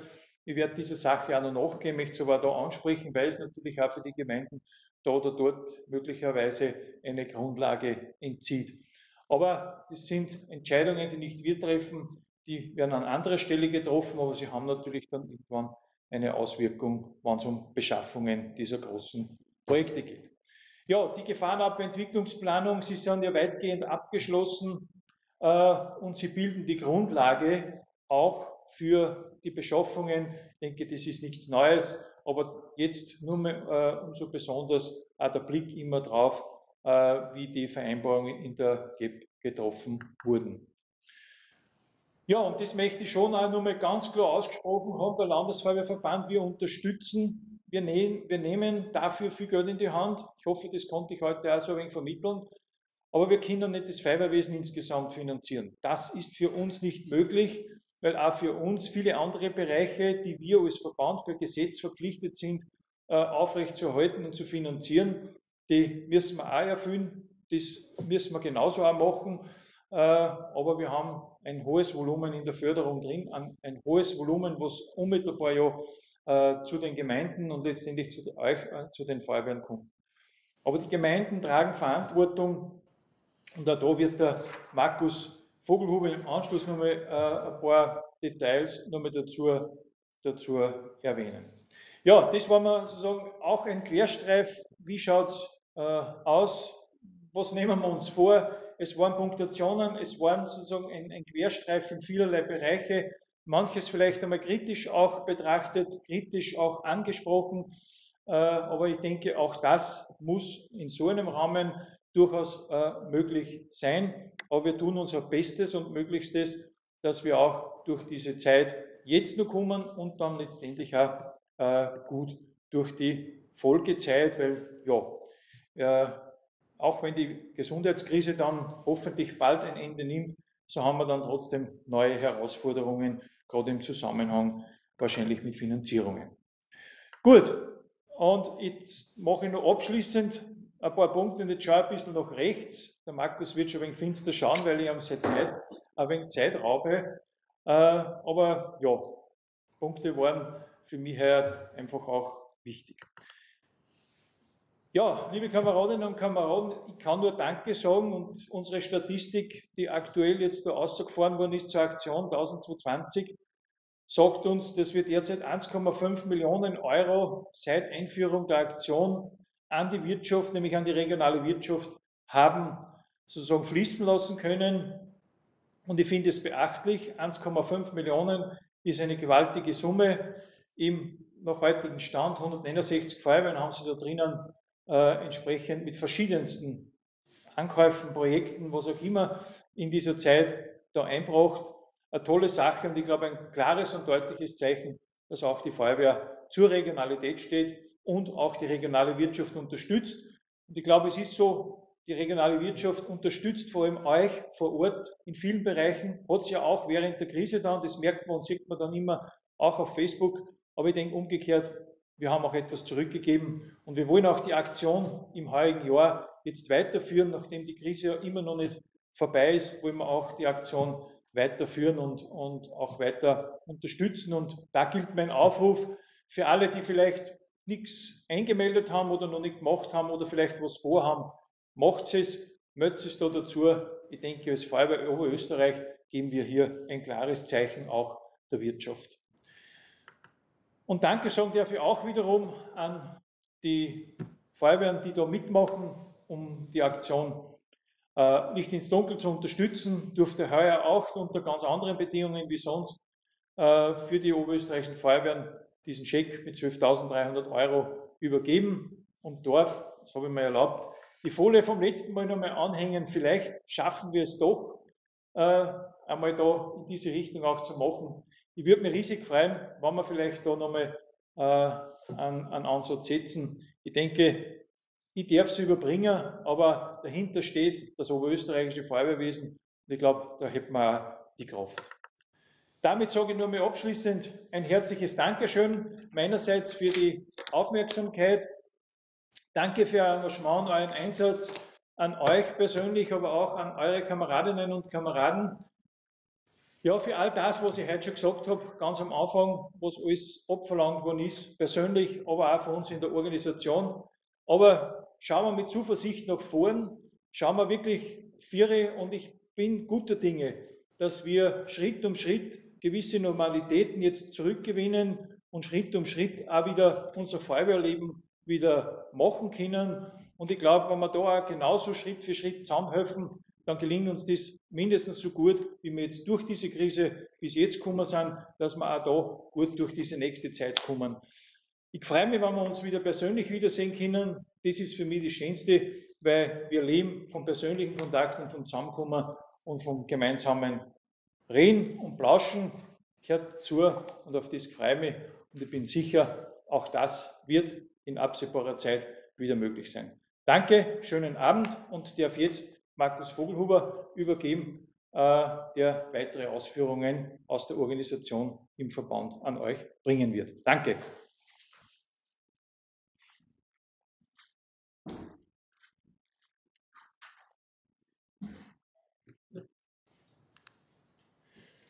Ja, geschätzte Organe des OE-Landesfeuerwehrverbandes, liebe Kommandantinnen und Kommandanten, Führungskräfte des oberösterreichischen Feuerwehrwesens, liebe Zuhörerinnen und Zuhörer. Schönen Abend, ich kann euch gleich versprechen, wir werden auf jeden Fall schauen, dass wir die Zeit, die wir uns genommen haben, äh, auch einhalten. Das heißt, äh, der Zeitpunkt 20.45 Uhr, zweiter Durchgang sollte gesichert sein. Dennoch schauen wir trotzdem, dass wir ein paar wichtige Themen, die eure tägliche Arbeit bei der Feuerwehr betreffen, äh, informieren können. Äh, wir haben jetzt einmal ein paar Dinge, die sich einfach so über die Zeit bei uns angesammelt haben, wo wir Anfragen kriegen, wo wir wissen, das beschäftigt euch, zusammengestellt. Und äh, das zum Thema interne Kommunikation. Wie kommunizieren wir im Feuerwehrwesen äh, untereinander? Ein bisschen was zur Öffentlichkeitsarbeit, Informationen. Dann Organisation und Administration, das sich ja doch in Zeiten dieser Covid-Krise erheblich verändert hat. Und dann haben wir uns noch einen sehr wesentlichen Punkt gesetzt, weil es, äh, wie der Landeskommandant schon gesagt hat, äh, immer wieder Thema von Meldungen ist, Kritiken äh, bis zu fast bösartigen Rückmeldungen, die wir kriegen, das Thema Finanzierung des Feuerwehrwesens, wo wir einfach wieder mal ein bisschen sagen möchten, was denn die Nulllinie ist bei dem ganzen Thema und wie es ihr vor Ort geschickt auf eure Gemeinden und Bürgermeisterinnen und Bürgermeister zugegangen ja, äh, wir beginnen mit der Kommunikation von Maßnahmen. Wir haben uns ja seit dem Beginn dieser Covid-Krise darauf verschrieben, äh, diese sämtlichen Informationen, Anweisungen, Maßnahmen per E-Mail an alle Feuerwehren und Organe zu kommunizieren und zusätzlich alle Unterlagen und Informationen immer in der gültigen Version auf unserer Webseite abrufbar zu haben. Das sichert uns eine immer gleiche Schiene, die sichert uns, dass ihr ständig mit den aktuellen äh, Informationen versorgt seid. Bitte das auch entsprechend wahrzunehmen in der Führungsebene, aber auch darüber hinaus. Gelegentlich kommt es wieder mal vor, dass wir Krediten kriegen über Dinge, äh, die draußen nicht bekannt sind. Und dann kommt es drauf, nee, das haben wir eh vor gewisser Zeit ausgeschickt und auch auf der Webseite informiert. Macht es ein bisschen umständlich, macht es nicht schlimm, aber es ist halt einfach gut, wenn wir die Sachen, die wir ausschicken, auch entsprechend verfolgt. Diese einheitliche Schiene, äh, die werden wir auch so weiterführen, weil sie einfach gut und bekannt ist. Äh, ein Hinweis, die, die Vorsicht bitte einfach bei der Weitergabe von Informationen, das auch geschickterweise dann per E-Mail oder so zu machen, äh, auf jeden Fall auf die Vollständigkeit äh, dieser Informationen achten. Wir haben schon gesehen, das eine andere Mal werden Informationen dann weitergeben über andere Schienen, über irgendwelche Messenger-Dienste, soziale Medien und so weiter, werden die verteilt in den Feuerwehren. Dann kommen nur Teile von dem an, was wir ausgeschickt haben und dann wird die Geschichte schwierig, weil vielleicht der Schriftführer, der Kassenführer oder irgendein anderer die Informationen gar nicht mehr vollständig hat. Verwendet einfach die Schiene, die wir verwenden, per E-Mail und per Webseite so weiter. Ich glaube, dann ist es gesichert, dass alle Leute, die äh, im Feuerwehrwesen mit diesen Informationen vertraut sind, auch entsprechend alles rüberkriegen. Die Datenweitergabe war ein Thema kürzlich und zwar, was muss denn eine Feuerwehr weitergeben, wenn sie eine Anfrage bekommt von draußen? Das war in dem Fall eine relativ einfache Geschichte. Es hat ein bisschen Diskussion gegeben zwischen einer Feuerwehr äh, und einer Versicherung Thema Einsatzverrechnung, aber auch Tätigkeiten und so weiter. Und dann heißt es, naja, die Feuerwehr sollte den Einsatzbericht an die Versicherung weitergeben. Äh, und da ist bitte Stopp. Also das heißt, wir geben Informationen aus dem Feuerwehrdienst, das haben wir ja schon in der Dienstordnung drinnen, nicht so ohne weiteres an Dritte weiter. Wir geben auch keine Einsatzberichte, wie wir sie aus Cybos kennen, an Versicherungen, an private Unfallbeteiligte oder sonst wen weiter. Das ist grundsätzlich einmal nicht gestattet äh, und das ist auch nicht zielführend, das ist nicht gescheit. Auf einen Einsatzbericht habe ich sehr viele Informationen drauf, bis hin zu vielleicht persönliche Daten, äh, Name von Mitgliedern und so weiter. Das ist nicht gescheit, das weiterzugeben. Ist auch, wie gesagt, grundsätzlich nicht gestattet. Äh, eine Ausnahme bildet natürlich, wann eine behördliche Einrichtung auf euch zukommt, sei es die Polizei, eine Staatsanwaltschaft, weil die irgendwas ermitteln, weil die sagen, wir suchen nach einem Brandstifter oder sonst irgendwas, dann kann das natürlich weitergegeben werden, aber nicht an Unternehmen, an private Dritte und so weiter. Das ist nicht gescheit äh, ist nicht gut. Es hat äh, jeder, der eine Rechnung kriegt aus dem Feuerwehrdienst, natürlich auch das Recht, Informationen dazu zu bekommen. Das machen wir dann im Einzelfall im Detail. Wenn einer sagt, ich möchte wissen, was ihr genau gemacht habt, können wir das gern machen und auch weitergeben und beantworten. Aber wir geben nicht komplette Einsatzberichte weiter. Die bleiben innerhalb der Feuerwehr, die bleiben innerhalb unserem System Cybos, wo sie auch hingehören. Jene die, was Zugriff brauchen, haben sie eh. Das sind unsere Organe. Das sind wir als Landesverband, die halt gesammelte Daten äh, aufbereiten. Das heißt, wir arbeiten dann mit den Summen, für, den Summen der Einsatzberichte, für unsere Jahresberichte und so weiter. Aber das ist eh die Wichtig ist, gibt es nur solche Einsatzberichte nicht auch draußen. Äh, es hat keiner einen rechtlichen Anspruch darauf und ihr müsst es auch nicht weitergeben.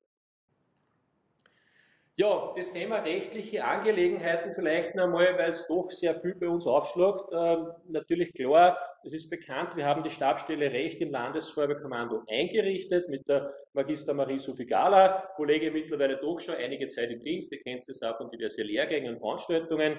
Äh, und sie hat natürlich als Aufgabenbereich die Rechtsthemen des gesamten Landesverbandes zu bearbeiten. Wir suchen da einfach nur mal ein Verständnis, dass die Marie-Sophie Gala äh, als Stabstelle Recht nicht für Einzelthemen von Feuerwehren oder vielleicht sogar von Mitgliedern herangezogen werden kann. Äh, es gibt da eine sehr klare Trennung, dass man sagt, okay, der Rechtsdienst im Landesverband kümmert sich darum, wenn die Themen für die Feuerwehr insgesamt interessant sind. Es kann immer sein, dass eine Feuerwehr einen Fall hat und sagt, da haben wir jetzt was erlebt, das müssen wir aufbereiten, weil das interessiert, interessiert die anderen sicher auch, dann bitte her damit. Aber wenn das Einzelfälle sind, äh, dann bitte vor Ort abzuwickeln. Äh, in erster Linie steht als Ansprechpartner die Gemeinde zur Verfügung, die ja sowieso über der Feuerwehr steht. Dort bitte auch schauen, äh, gleich einmal mit dem Amtsleiter rücksprechen, wann irgendein Fall auftritt. In den meisten Fällen haben die Gemeinden auch eine Rechtsschutzversicherung. Wenn nicht, dann bitte das vielleicht sogar mal andiskutieren und sagen, hey, lieber Amtsleiter, lieber Bürgermeister, war das nicht gescheit, ähm, so etwas zu haben. Wir wissen, dass die Zeit nicht leichter wird, was das Thema betrifft. Es gibt gleich einmal Dinge, die hinterfragt werden. Was hat die Feuerwehr gemacht? Warum hat sie es gemacht? Und so weiter. Äh, es wäre hier gut, eine Rechtsvertretung zu haben, aber wenn das die Feuerwehr betrifft, ist in erster Linie mal die Gemeinde dafür zuständig und nicht der Landesverband. Aus einem ganz einfachen Grund, nicht weil wir es nicht wollen, sondern weil wir es in dieser Dimension einfach nicht kennen. Mit einer Juristin am Landesfeuerwehrkommando für 900 Feuerwehren, das, da stehen wir nicht. Abgesehen davon liegt auch die Aufgabe hier bei der Gemeinde. Zu dem Thema Aufgaben der Gemeinde werden wir dann später noch in ein anderes Thema kommen, aber das dann dahin. Ja, das Thema Öffentlichkeitsarbeit, weil es ein paar Mal aufgeschlagen ist, ist es natürlich so, dass die Öffentlichkeitsarbeit in Feuerwehrbereichen tätig. Äh, da gibt es Leute, die zufällig äh, im Marketing in der Firma sind, die das beruflich machen, die es vielleicht auch sich selber angeeignet haben, wo halt die Feuerwehr eine gute Öffentlichkeitsarbeit macht und vielleicht einmal Feuerwehren, die was mit dem noch nicht so vertraut sind. Wir wissen, dass wir im Bereich äh, des Marketings und der Kommunikation nach außen noch äh, ein großes Aufgabenfeld vor uns haben. Es gibt auch sehr, sehr große Bemühungen am Landesfeuerwehrkommando, diesen Bereich auszubauen. Wir haben mittlerweile äh, einen nächsten Mitarbeiter aufgenommen, der in Kürze seinen Dienst antreten wird in diesem Bereich und sind dann entsprechend gestärkt, um das Thema Marketing und Öffentlichkeitsarbeit auch wirklich auf der Landesverbandsebene anzugehen. Uh, unser Ziel, das habe ich schon Mal gesagt bei diversen Vorträgen, ist natürlich schon das, uh, dass wir nicht für euch die Öffentlichkeitsarbeit machen, das können wir auch nicht, wollen wir auch nicht, sondern dass wir euch äh, einfach Schulen informieren können, ausbilden können, damit ihr eure Öffentlichkeitsarbeit auf Feuerwehrebene, Gemeindeebene, Abschnitt oder Bezirksebene entsprechend umsetzen könnt. Das ist das Ziel, das Ziel, das wir haben, ist nur eine Menge Arbeit, das ist uns bewusst, aber das wollen wir schaffen. Ungeachtet dessen, bitte einmal die Grundlagen, die wir jetzt schon immer vermitteln, eigentlich seit Jahren schon, äh, speziell der Hermann Kohlinger bei den Kommandantenlehrgängen, Einsatzleiterlehrgang, Schrift- und Kassenführerlehrgänge, äh, die der Hermann Kohlinger dort vermittelt, wo er sagt, passt mir dort auf, schaut, dass das ordentlich macht, passt mir auf die rechtlichen Themen auf, äh, das bitte auch so verfolgen und bitte auch darauf achten. Was uns besonders wichtig ist, ist einfach auch wieder das Thema, welche Daten gebe ich denn weiter, welche Informationen gebe ich weiter, die ich aus dem Einsatz gekriegt habe. Ihr kennt die Geschichten. Heute die Feuerwehrkameraden mit den Handys am Einsatzort mit dabei, jeder dort fotografieren. Äh, das Ding dann gleich weiterzugeben, ist schlichtweg nicht erlaubt. Das haben in der Dienstordnung ganz klar geregelt, dass es heißt, wenn die Feuerwehr eine Öffentlichkeitsarbeit betreibt, dann geht die auf jeden Fall über den Kommandanten, der eine Presseaussendung freigibt, der sagt, wo stehen wir auf die Webseiten, welchen Bericht gehen wir noch draußen, welche Informationen gehen wir noch draußen.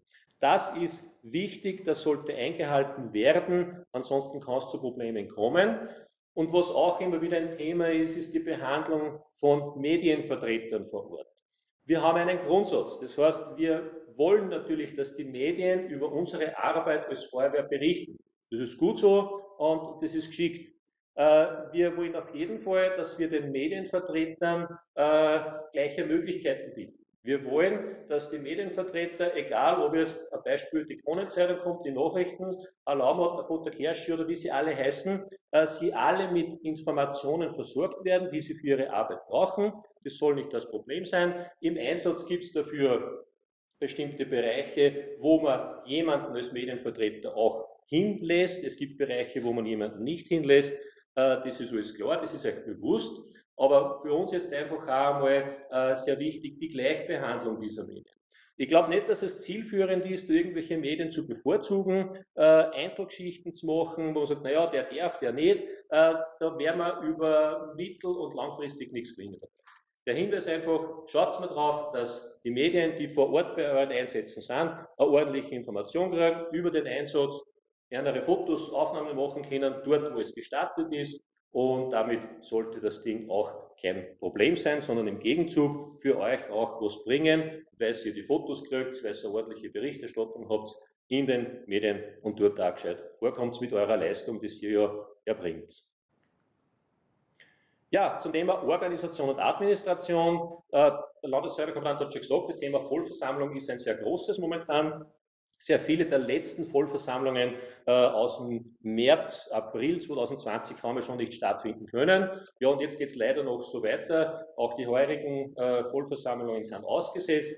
Mittlerweile ist es so, dass wir vom Gesetz auch davon entbunden sind. Es wäre eine Pflicht, eine Vollversammlung zu machen. Per äh, Gesetz haben wir jetzt gelöst, ist mal bis 31. Juli äh, aufzuheben von dieser Pflicht. Wichtig ist aber, dass zumindest die Finanzthemen ordentlich abgerechnet sind. Das heißt, der Rechnungsabschluss, so wie er jedes Jahr gemacht wird, ist zu erstellen. Das kann man machen. Äh, macht der Kommandant mit dem Kassenführer, die zwei Rechnungsprüfer äh, und an die Gemeinde übermitteln. Äh, die Wahl der Kassenprüfer ist nicht möglich, ist klar. Die bleiben es halt einfach. Das lösen wir pragmatisch. Äh, und den Kassenbericht und die Entlastung des Kassenführers, das machen wir dann bei der nächstmöglichen Vollversammlung. Das heißt, je nachdem, wie sich die Zeit entwickelt, kann es durchaus sein, dass Vollversammlungen im August, im September, im Oktober stattfinden, beziehungsweise, wenn sie dann erst nächstes Jahr stattfinden, im Jänner, Februar 2022, dann muss ich halt die Jahresberichte und die Kassenberichte nachholen für die Jahre, äh, wo sie nicht stattfinden haben können. Das halten wir aus, das sollte funktionieren. Wichtig ist, dass auf jeden Fall die Rechnungsabschlüsse gemacht sind. Die Wahlen, genauso wie die Vollversammlungen, können, wenn sie denn notwendig wären, jetzt nicht stattfinden. Es gibt immer wieder Feuerwehren, wo dort und da jemand geplant oder ungeplant aufhört, aufhören muss. äh, aus bestimmten Gründen und dann müssen wir einen Schriftführer, Kassenführer, einen Kommandant, Stellvertreter und Kommandanten äh, neu besetzen. Eine Wahl ist aktuell nicht möglich. In der Regel ist es so, dass ja äh, ein, eine Person für vorübergehend diese Funktion auch übernehmen kann, zumindest Schrift- und Kassenführer. Äh, auf jeden Fall dort, wo eine Wahl notwendig ist, das ist der Kassenführer, der Schriftführer, äh, die Stellvertreter und äh, der Kommandant, äh, ist es so, wenn binnen sechs Monaten keine Wahl zustande kommt, aus welchem Grund auch immer, äh, dann wird vom Bezirksfeuerwehrkommandanten ein Vorschlag an die Landesfeuerwehrleitung gebracht und dann erfolgt eine provisorische Bestellung durch die Landesfeuerwehrleitung äh, und dann gilt diese Bestellung so lange, bis das eine Wahl äh, zustande kommt. Das kann dann rein theoretisch sogar die nächste im Jahr 2023 sein.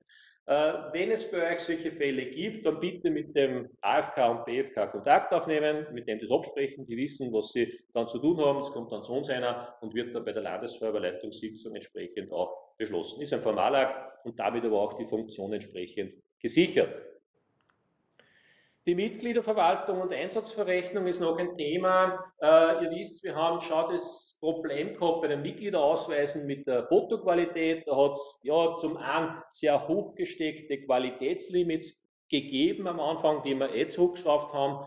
Nichtsdestotrotz waren immer wieder Fotos dabei, die einfach wirklich nicht zum Brauchen waren und wir dann gesagt haben, okay, wir machen ein Webinar äh, zu dem Thema. Es hat damals auch stattgefunden. Es hat sich sehr gut eingelebt. Es gibt darüber nur ein paar, die noch nicht so passen. Äh, dazu kommt äh, das Thema Feuerwehrführerschein, wo die Datenübereinstimmung nicht immer klar ist äh, zwischen dem Führerschein, der mitgeschickt wird und äh, den Daten, die in Cybus sind.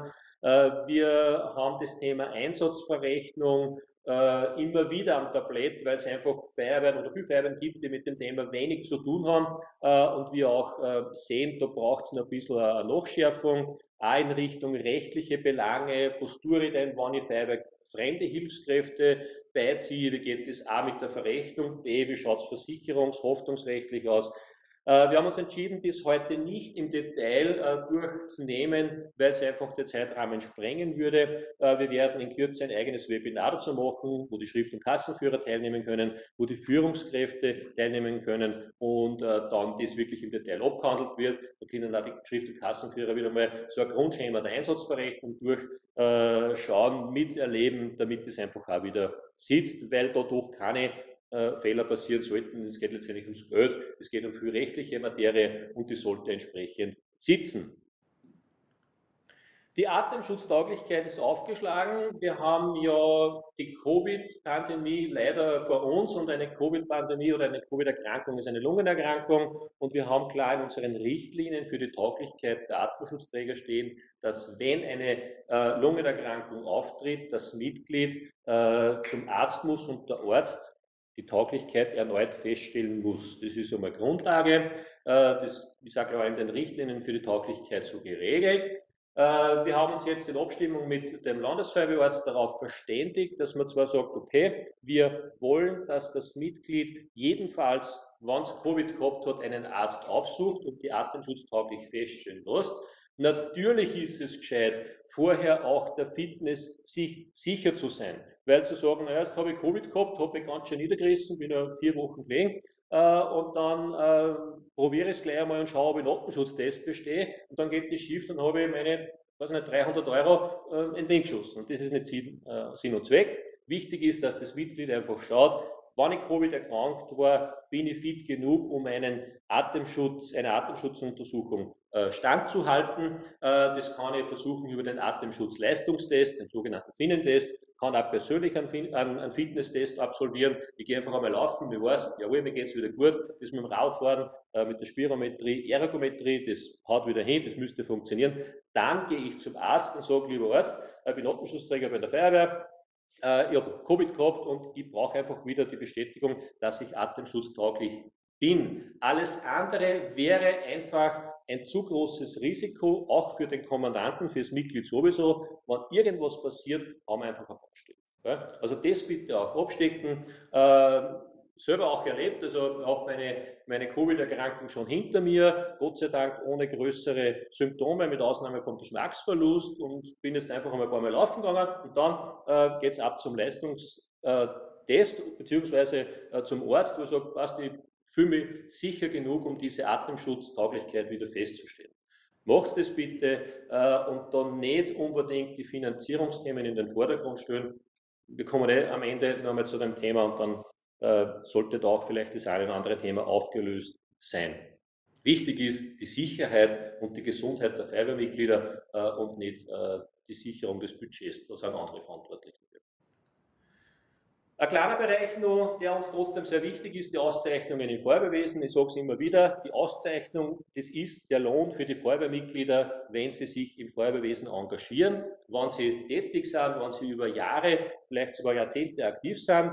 Äh, nutzt bitte dieses Element. Wir haben wirklich da auch entsprechend ausgebaut. Wir haben zu den Bezirksauszeichnungen und Landesauszeichnungen auch die Verbandsauszeichnung eingeführt, äh, Landesverbandsmedaille. Äh, wie gesagt, nutzt es wenn es dabei Fragen gibt, AFK und BFK stehen zur Verfügung, die kennen das System, die kennen das Gerippe. Ähm, wir haben auch, das habe ich schon ein paar Mal gesagt, äh, wirklich bewusst keine, äh, kein Matrix oder Katapult online stellt, wo sich einfach jeder aussuchen kann, jetzt bin ich so lange bei der Feuerwehr und jetzt steht mir die Auszeichnung zu. Das ist nicht Art und Weise, wie man zu einer Auszeichnung kommt. Das machen die Führungskräfte, in dem Fall der Feuerwehrkommandant für die Mitglieder, die er hat, für die er sich verantwortlich fühlt. Das macht der Abschnittskommandant äh, geschickterweise auch für die Feuerwehrkommandanten im Abschnitt, dass er sagt, naja, der soll es nicht selber beantragen müssen. Das geht natürlich über AFK oder BFK und das macht dann das Landesfeuerwehrkommando auch für die Organe. Äh, wenn ihr Fragen habt zu dem Thema, was kommt man denn jetzt einem bestimmten Mitglied für Auszeichnung geben, meldet euch beim AFK, der weiß in der Regel da Bescheid und kann euch da weiterhelfen, wenn irgendwas offen ist. Die Antragstellung erfolgt ja über Cybos, das geht relativ geschickt jetzt äh, seit einiger Zeit. Und was da aber auch natürlich der Fall ist, das System erstellt keinen automatischen Vorschlag. Also ihr müsst schon selber nur schauen, okay, welche Auszeichnung wollen wir denn jetzt äh, dem Mitglied verleihen äh, und dann kann ich sie selber auch beantragen. Ein Thema noch, das wirklich ganz kurzfristig aufgeschlagen ist, äh, über die Gemeinden, da nur der Hinweis, wenn das bei euch landet, dann solltet ihr wissen, was dahinter steht. Es hat eine Mitteilung gegeben von Land Österreich, von der IKD an die Gemeinden und an die Bezirksverwaltungsbehörden. Äh, da ist in einem sehr komplizierten Textgebilde beschrieben, dass bei Brandstiftung, die man ja verrechnen kann, keine bescheidmäßige Kostenvorschreibung durch die Gemeinde möglich ist. So, Punkt Nummer eins, dieser Fall wird in der Praxis eher selten eintreten. Das ist einmal gut, das heißt, mit dem haben wir nicht allzu viel zu tun. Aber wenn es denn noch kommen sollte, äh, wir haben ja bei der Einsatzverrechnung die zwei Trennungen. Das eine ist die Verrechnung nach der Gebührenordnung, wo ihr eure hoheitlichen Tätigkeiten, die Pflichtaufgaben der Feuerwehr verrechnet anhand der Gebührenordnung. Und dann haben wir weitere Leistungen, die die Feuerwehren erbringen, die sogenannten nicht hoheitlichen Einsätze, äh, die wir nicht als Pflichtaufgabe machen, aber die wir machen können, wenn wir uns dazu in der Lage fühlen. Äh, und die verrechnen wir auf Basis der Tarifordnung. So, und dieses Schreiben sagt es von der IKD nichts anderes, als wir, äh, wenn wir eine Brandstiftung haben, das ist ein Brandeinsatz, der in der Regel nicht verrechenbar ist, durch die Brandstiftung aber plötzlich verrechenbar wird, äh, müssen wir auf Basis der Tarifordnung verrechnen. Verändert für uns nur in der Textierung was und im, im formalen Ablauf nichts im Inhalt, weil ja von den Tarifen die Tarifordnung und die Gebührenordnung ohnehin gleich ist.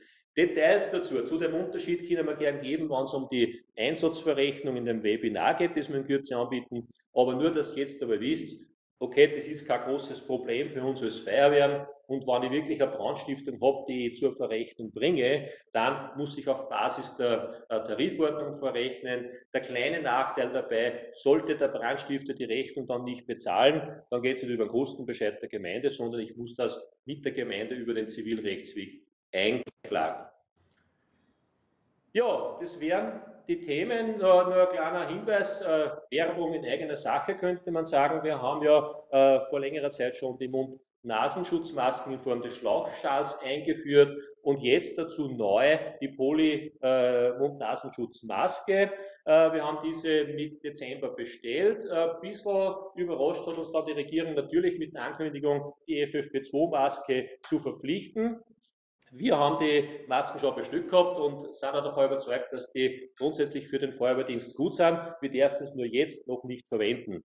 Äh, die ersten Masken sind eingetroffen, weitere folgen. Die Bestellungen laufen ganz gut und, und bin davon überzeugt, dass wir die Zeit, äh, wo wir diese Masken tragen können, auf jeden Fall noch kriegen werden. Leider ohne was uns natürlich lieber, aber diese FFP2-Pflicht, nehme ich an, wird äh, mit einer bestimmten Zeit auch wieder zu Ende sein, hoffen wir zumindest. Und dann können wir natürlich unsere Feuerwehrmasken in diesem Design des neuen Design des Landesverbandes äh, auch verwenden. Bestellbar über Cypost, das kennt ihr eh schon, da braucht man glaube ich nicht äh, näher drauf eingehen. Wir haben auch eine Damengröße, äh, Information folgt in Kürze.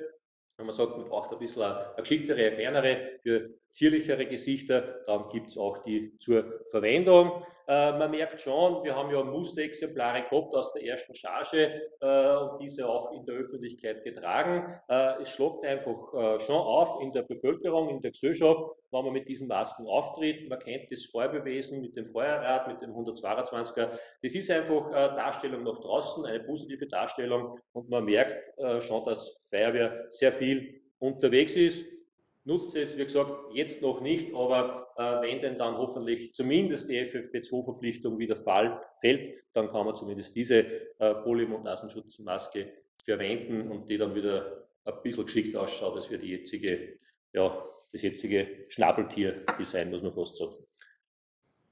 Gut, geschätzte Zuhörerinnen und Zuhörer, äh, das nächste Thema äh, ist ein sehr wesentliches, das blockt uns doch äh, in einer Form und bin davon überzeugt, nicht uns am meisten, sondern euch am meisten. Und es hat uns einfach dazu bewogen, dass wir jetzt einmal sagen, wir wollen wieder mal schon erklären, was denn die Grundlage der Finanzierung im Feuerwehrwesen ist. Ähm, es kommen viele Fragen, Diskussionen, die bei uns im LFK landen. Manche Meldungen leider sehr unsachlich. Der Herr Landesfeuerwehrkommandant hat es bereits äh, erwähnt, zum Teil sogar beleidigend. Nicht? Und äh, mit dem Zitat, die Linzer Beamten im LFK haben keine Ahnung mehr, was an der Feuerwehrbasis geschieht. Äh, vielleicht aber ein bisschen ausschweifend eine Feststellung. Ich bin kein Linzer, äh, bin ein stolzer Bürretter aus dem Bezirk Vöcklerbruck im schönen Haushochviertel. Bin kein Beamter, sondern ein Vertragsbediensteter im LFK äh, ob ich eine Ahnung habe oder nicht, das mögen andere beurteilen. Aber von der Feuerwehrbasis haben wir, glaube ich, alle miteinander sehr viel schon gelernt und wissen auch jetzt mit Sicherheit noch, was dort passiert. Das wollten wir einfach einmal gesagt haben, das ist uns wichtig. Wir halten eh viel aus und wir halten auch solche Meldungen aus.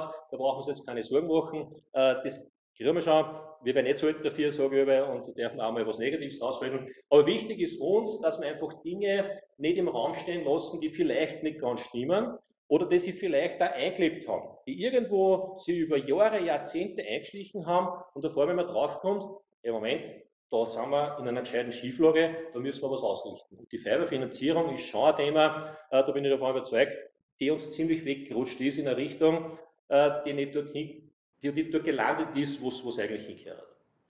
Äh, wir haben über Jahre eine veränderte Praxis, und müssen schauen, dass wir jetzt den Blick auf die eigentliche Verantwortung der Finanzierung des Feuerwehrwesens einfach wieder mehr schauen, dass wir das nicht außer Acht lassen. Und wir haben eine gesetzliche Basis, das ist der Paragraph 5 im Wohlfeuerwehrgesetz, der für die Finanzierung des Feuerwehrwesens und für all unsere Diskussionen, die wir führen, die schwierig sind, die umfangreich sind, äh, ist das trotzdem immer wieder die Grundlage und das dürfen wir nicht außer Acht lassen. Ich habe euch da einen Text zusammengefasst. Das ist der Originaltext, äh, wo ich nur die Betriebsfeuerwehren rausgenommen habe, weil es da jetzt weniger Rolle spielen, äh, aus dem Feuerwehrgesetz. Und da ist ganz klar festgelegt, die Grundlage der Finanzierung des Feuerwehrwesens in Oberösterreich. Und wichtig ist, dass wir von diesem Limit wegdiskutieren. Es ist und bleibt die Pflichtbereichsgemeinde, die die Kosten für das Feuerwehrwesen im Einsatz, bei der Übung, bei der Ausbildung zu tragen hat.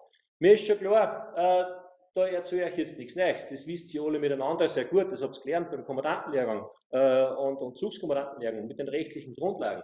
Aber es ist halt schon, glaube ich, in den letzten Jahren und Jahrzehnten passiert, dass diese Verantwortung sich weggelebt hat.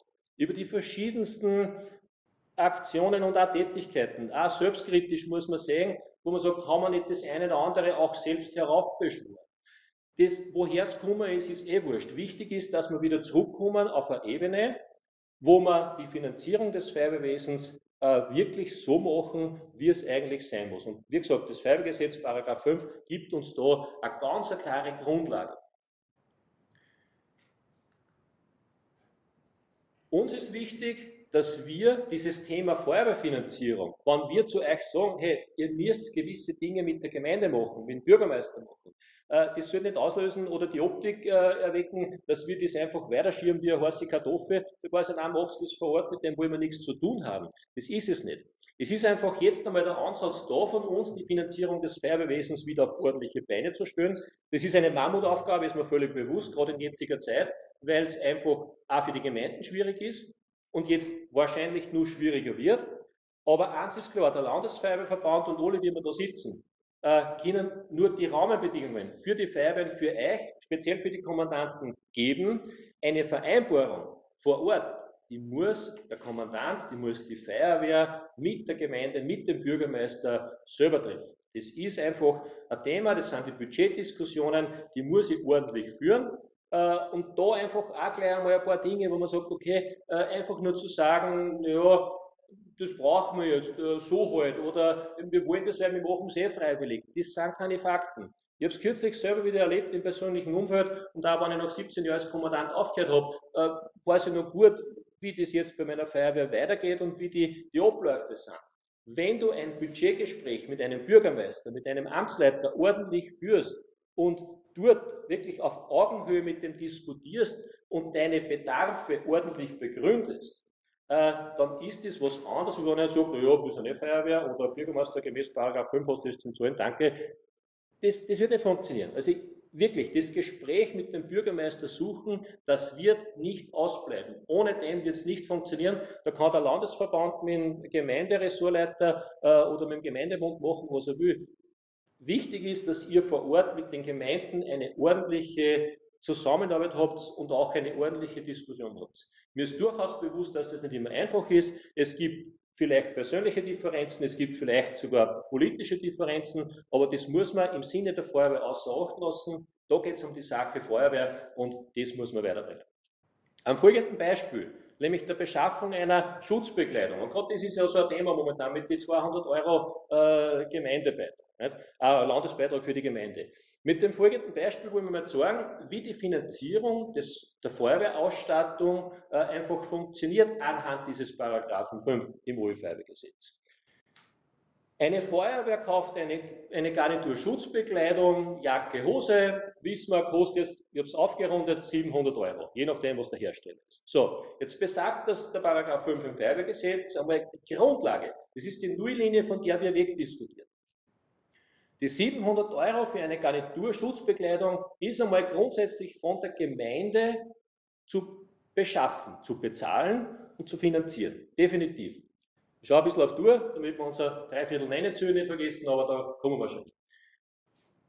Die Kosten von den 700 Euro hat also einmal als Grundlage die Gemeinde zu bezahlen. Jetzt sagen alle, ja, das ist alles nett, das ist alles Theorie. Natürlich wird die Gemeinde unterstützt bei dieser Finanzierung dieser Aufgabe. Das Land Oberösterreich sagt, liebe Gemeinde, ich helfe dir mit Finanzmitteln bei deinen Pflichtaufgaben. Äh, früher hat das geheißen BZ-Mittel, Bedarfszuweisungsmittel, heute nennt man das Gemeindefinanzierung neu, da gibt es einen Strukturfonds, gibt es einen Projektfonds äh, und so weiter. Also das Land Oberösterreich unterstützt die Gemeinde bei, bei der Finanzierung des Feuerwehrwesens. Dann kommt der Landesfeuerwehrverband ebenfalls aus dem Feuerwehrgesetz und fördert auch die Ausstattung der Feuerwehren und sagt, liebe Feuerwehren, äh, liebe Gemeinden, auch wir äh, finanzieren mit aus dem Feuerwehrgesetz und fördern den Ankauf so einer Schutzbekleidung. Und dann kommt nur der dritte Part, den haben wir auch im Gesetz und zu dem müssen wir auch stehen. Die Feuerwehr trägt nach Maßgabe der vorhandenen Mittel zu diesen Kosten bei. Und das ist der Punkt, wo ich sage, wir haben gewisse äh, Vergünstigungen, das heißt, unser steuerfrei Festveranstaltungsgeschichte äh, in erster Linie, wo wir sagen, okay, wir dürfen an 72 Stunden im Jahr Feuerwehrfeste veranstalten, um dort Geld zu lukrieren und dieses Geld auch steuerfrei zu lukrieren, damit wir es da einschütten können. Und diese drei Dinge sind es, die auch per Gesetz den Gemeinden helfen. Also die Gemeinde steht eh nicht alleine da. Grafisch sagt es so aus. Wir haben die Kosten einer Schutzbekleidung von 700 Euro je Garnitur. Wenn ich die 200 Euro abzieht, die das Land Oberösterreich den Gemeinden ja zugesagt hat. Ihr kennt ja das aus dem Jahr 2016, klare Zusage via Bedarfszuweisungsmittel war es damals. Äh, wir finanzieren 200 Euro pro Garnitur Schutzbekleidung äh, dazu. Äh, das heißt, für die Gemeinde bleiben nur mehr 500. Man hat es damals noch mal eingeschliffen gehabt und gesagt, ja, maximal drei pro Jahr. Gut, ja, das war Sache der Verteilung. Äh, das holt man grundsätzlich aus. Aber wichtig ist, das Land Oberösterreich hat den Gemeinden zugesagt, wir unterstützen euch mit 200 Euro pro Garnitur Schutzbekleidung, ihr braucht also nur die 500 zahlen. So, da kommt der Landesfeuerwehrverband und sagt, wir fördern auch mit, wir zahlen 60 Euro pro Garnitur Schutzbekleidung zur, zu den Kosten der Gemeinde. Das ist ja immer nur die Basis, dass die Gemeinde die Kosten tragen muss. Dazu, das heißt, von den ursprünglich 700 Euro bleiben jetzt einmal grundsätzlich nur mehr die 440 über. So, die 440 Euro sind die Kosten, die die Gemeinde per Gesetz noch zu tragen hat. Jetzt kommt die Feuerwehr ins Spiel, nämlich mit dem Passus, die Feuerwehr hat beizutragen nach Maßgabe der vorhandenen Mittel. Und das ist, und das ist jetzt der springende Punkt, das ist die Vereinbarung zwischen Feuerwehr und Gemeinde, wo ich mit dem Bürgermeister zusammensitze und sage, lieber Herr Bürgermeister, lieber Amtsleiter, schau her, wir haben zu beschaffen. Wir brauchen Schutzbekleidung in dem Ausmaß, Wobei das Thema Brauchen natürlich auch zu argumentieren ist. Natürlich müssen wir sagen, naja, äh, wir haben so und so viele Mitglieder, von denen stehen so viel im Einsatzdienst, äh, für die brauchen wir Schutzbekleidung. Das muss ordentlich argumentiert sein. Und wo diese strichlierte Linie letztendlich gelegt wird, das ist immer Sache der Vereinbarung zwischen Feuerwehr, letztendlich dem Kommandanten und dem Bürgermeister. Wir wissen, dass es sehr, sehr unterschiedliche Vermögenstände, sprich äh, Finanzkräfte bei den Feuerwehren gibt. Es wird Feuerwehren geben, die sagen, ich habe gerade Feuerwehrhaus gebaut, vielleicht sogar noch gekauft. Lieber Herr Bürgermeister, wir haben keine Möglichkeit, jetzt auch noch zur Einsatzbekleidung dazu zu bezahlen. Heißt, die vollen 440 Euro bleiben bei der Gemeinde, dort wo sie immer waren vom Beginn weg.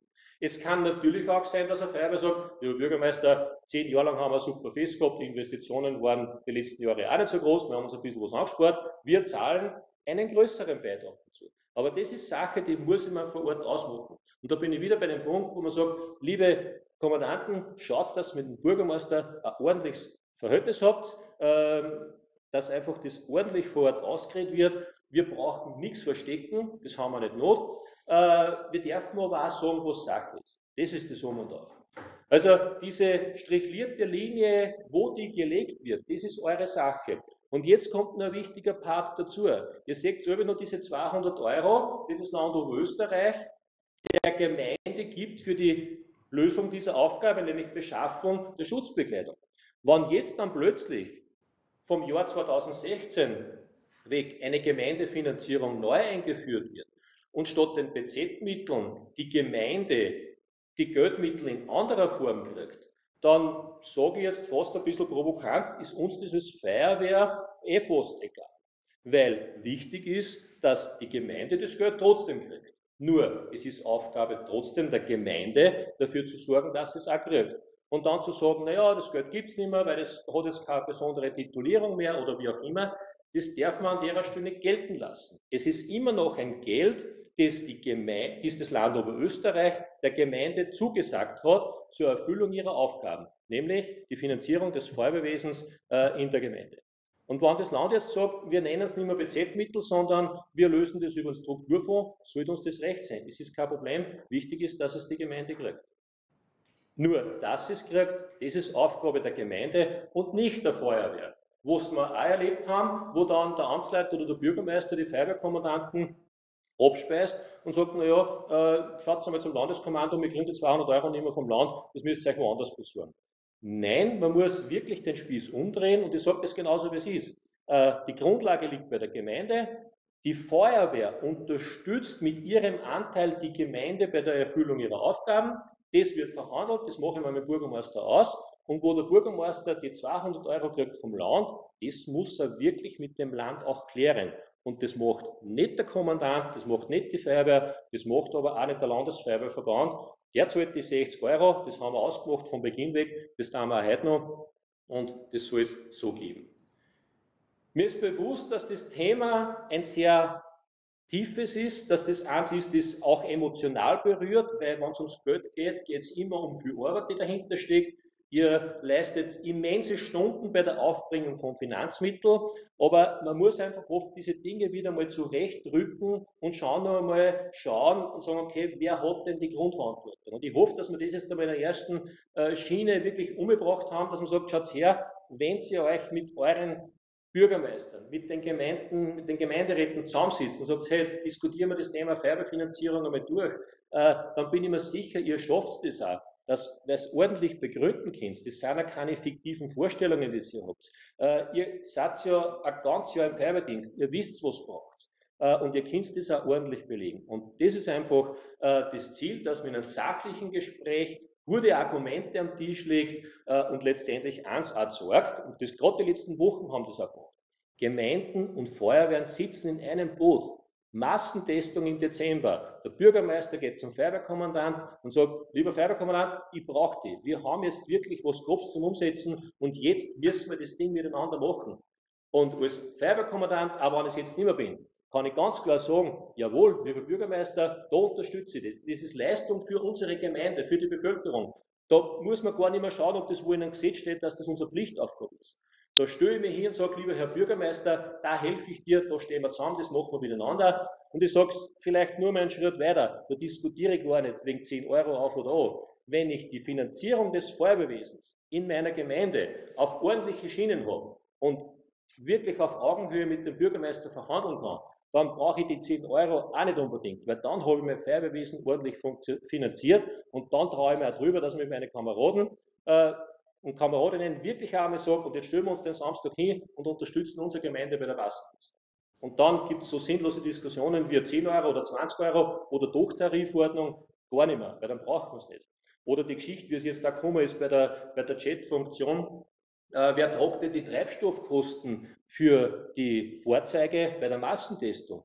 Eigentlich sollte sich diese Frage gar nicht stellen, weil die Treibstoffkosten eine klare, ein klarer Aufwand ist, der sowieso bei der Gemeinde liegen sollte. Und wenn ich sage, okay, jetzt habe ich 1000 Euro Treibstoffkosten budgetiert, Hausnummer äh, für das Jahr 2020, und äh, jetzt bin ich aber so viele Kilometer gefahren, äh, dass ich mit den Treibstoffkosten nicht auskomme, dann gibt es einen Hinweis an den an die Gemeinde, an den Bürgermeister, du, wir haben 100 Euro Treibstoff mehr braucht, weil wir dann den ganzen Tag bei der Massentestung gefahren sind. Ja, dann ist das so, aber die Kosten liegen dann bei der Gemeinde und nicht bei der Feuerwehr. Es ist ja vollkommen klar, dass es nicht sein kann, dass die Feuerwehr aus ihren Mitteln, die sie aus Haussammlungen und Festveranstaltungen lukriert, den Treibstoff zahlt, dass wir nachher Logistik machen äh, bei, einem, bei, bei einer Massentestung. Es ist auch, und das haben wir auch kürzlich gehabt bei einem Gespräch mit einer Bezirksverwaltungsbehörde, ganz klar, dass wenn eine Ölspur irgendwo ist, wo zum Beispiel kein Verursacher äh, gefunden werden kann, nicht die Feuerwehr aus ihren eigenen Mitteln äh, das Ölbindemittel aufbringt und dann sagt, naja, das müssen wir finanzieren, weil wir haben keinen Verursacher gefunden, wo wir Rechnung stellen. Nein, das ist nicht Sache der Feuerwehr. Dafür gibt es klare gesetzliche Grundlagen und das müssen wir lösen. Aber wichtig ist, dass wir es wieder mal auf Linie bringen. Die Gemeinden brauchen die Leistungen der Feuerwehr. Die Feuerwehren brauchen aber auch die Unterstützung der Gemeinden. Und eins, mit dem möchte ich jetzt schließen, nur im Zusammenspiel kann das funktionieren. Geht's mal ordentlich auf die Bürgermeister zu, auf die Bürgermeisterinnen, schaut, dass ihr ordentliche Linie zusammenbringt, dass es ordentlich argumentiert und wie man sicher, dann bringen wir auch die Finanzierung des Feuerwehrwesens zumindest mittelfristig wieder in die richtige Richtung. Das werden wir nicht von heute auf morgen schaffen, davon bin ich überzeugt. Aber wir müssen es zumindest einmal angehen und äh, schauen, dass wir das wieder hinbringen, wo es hingehört. In diesem Sinne wäre ich soweit durch. Bedanke mich für die Aufmerksamkeit, zumindest bei jenen, die jetzt noch dran sind, und darf zurückgeben ins Studio an den Gottfried Kerschbaumeier. Danke und ich wünsche euch noch einen schönen Abend beim zweiten Durchgang von Netflix.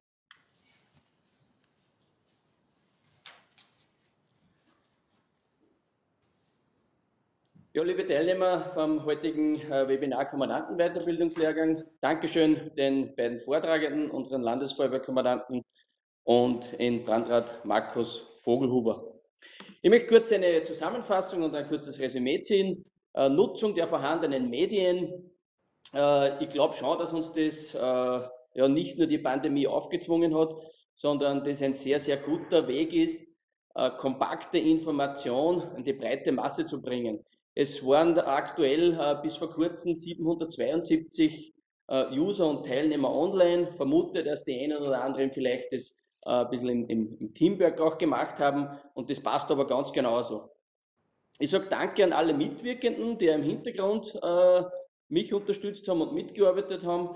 Bei den Vortragenden, jawohl, habe ich mich bedankt. Vor allem die IT des Hauses, die die ganze Technik äh, immer, immer aufbaut, äh, wartet und dann schaut, dass dementsprechend läuft. Ähm, die Lehrgangsverwaltung, äh, meinen Mitarbeitern in der Landesfeuerwehrschule, die die ganze Cybersverwaltung, die Einladung, Link erstellen des Webinars und so weiter gemacht haben. Und ähm, auch bei denen, die heute die Fragen beantwortet haben. Ich möchte noch, äh, ja, nicht nur Werbung, sondern äh, hinweisen auf die nächsten äh, Kommandanten Weiterbildungssequenzen. Einige Fragen, die heute im Chat gestellt werden, werden äh, genau bei, bei den weiteren äh, Themen in den Webinaren äh, sicher angesprochen und behandelt werden. Das nächste äh, Webinar ist am Freitag, den 29. Jänner, ebenfalls wieder von 18.30 Uhr bis 20.30 Uhr. Äh, ein Thema wird sein Digitalfunk, äh, Richtlinien, Leitstellenverbund, Funkrufnamen, wird der Brandrat äh, Bernhard Gutjahr äh, als Vortragender sein. Und dann ein, ein großer Teil über das gesamte Bewerbswesen, wie geht es weiter und dann nicht nur um unsere äh, Abschnittsbewerbe, Bezirksbewerbe und auch den äh, Landesfeuerwehrleistungsbewerb, wie er bekannt ist, sondern auch, wie schaut es mit den äh, Funkleistungsbewerben, mit den Abzeichen aus, äh, wie schaut es mit äh, im Bereich der Wasserwehr und so weiter aus. Äh, Vortragender wird sein unser Landesbewerbsleiter, Herr Brandrat Hannes Niedermeyer, und hat aber durchaus ein Expertenteam mit seinem Hintergrund, äh, wo sämtliche Landesbewerbsleiter der äh, Sparten, die ich erwähnt habe, die Fragen auch dann beantworten werden. Dann geht es weiter am 11. Februar. Äh, Zeit ist immer wieder die gleiche. Ähm, Informationen über Akkubrände generell. Ein Referent der äh, BVS wird da hier sein bei uns. Naturkatastrophen und Prävention. Referent der EPZ. Prävention allgemein. Gemeinsam sicher Feuerwehr. Wird der Hausintern von Brandrat Reisinger vorgetragen werden. Und dann war auch hin und wieder heute eine Frage im Chat. Bekleidungsordnung neu. Äh, wird vom ähm, Abi Beiräder und gleichzeitig auch Bezirkskommandant des Bezirkes Berg vorgetragen werden. Am 23. Februar ist die letzte äh, Sequenz der Kommandantenweiterbildung und hier wird es äh, großteils gehen äh, in den Bereich Katastrophenschutz, wo ebenfalls einige Fragen im Chat heute schon gestellt wurden. Digitale Einsatzführungsunterstützung, aktuelles aus, aus dem Bereich Landeskatastrophenschutz, Kfz-Kennzeichenabfrage, Bewusstseinsbildung, Einsatzführungsunterstützungseinheiten, diese Themen werden von unserem landesvollbekannten Stellvertreter Michael Hutterer äh, vorgetragen werden. Und dann noch äh, Brände von Elektrofahrzeugen, Fall- und Einsatzbeispiele. Und das wird vom Hauptamtswalter Springer Hubert von Rohrbach vorgetragen werden. Ich sage nochmal Danke äh, für die heutige Teilnahme, wünsche euch äh, weiterhin alles Gute. Markus Vogelhuber hat es bereits erwähnt, wir werden pünktlich fertig, 20.45 Uhr äh, Start des zweiten Durchganges des Nitres. Hoffen wir, dass wir dort einen österreichischen Erfolg feiern können. Äh, wünsche euch alles Gute, bis zum nächsten Mal und schönen Abend.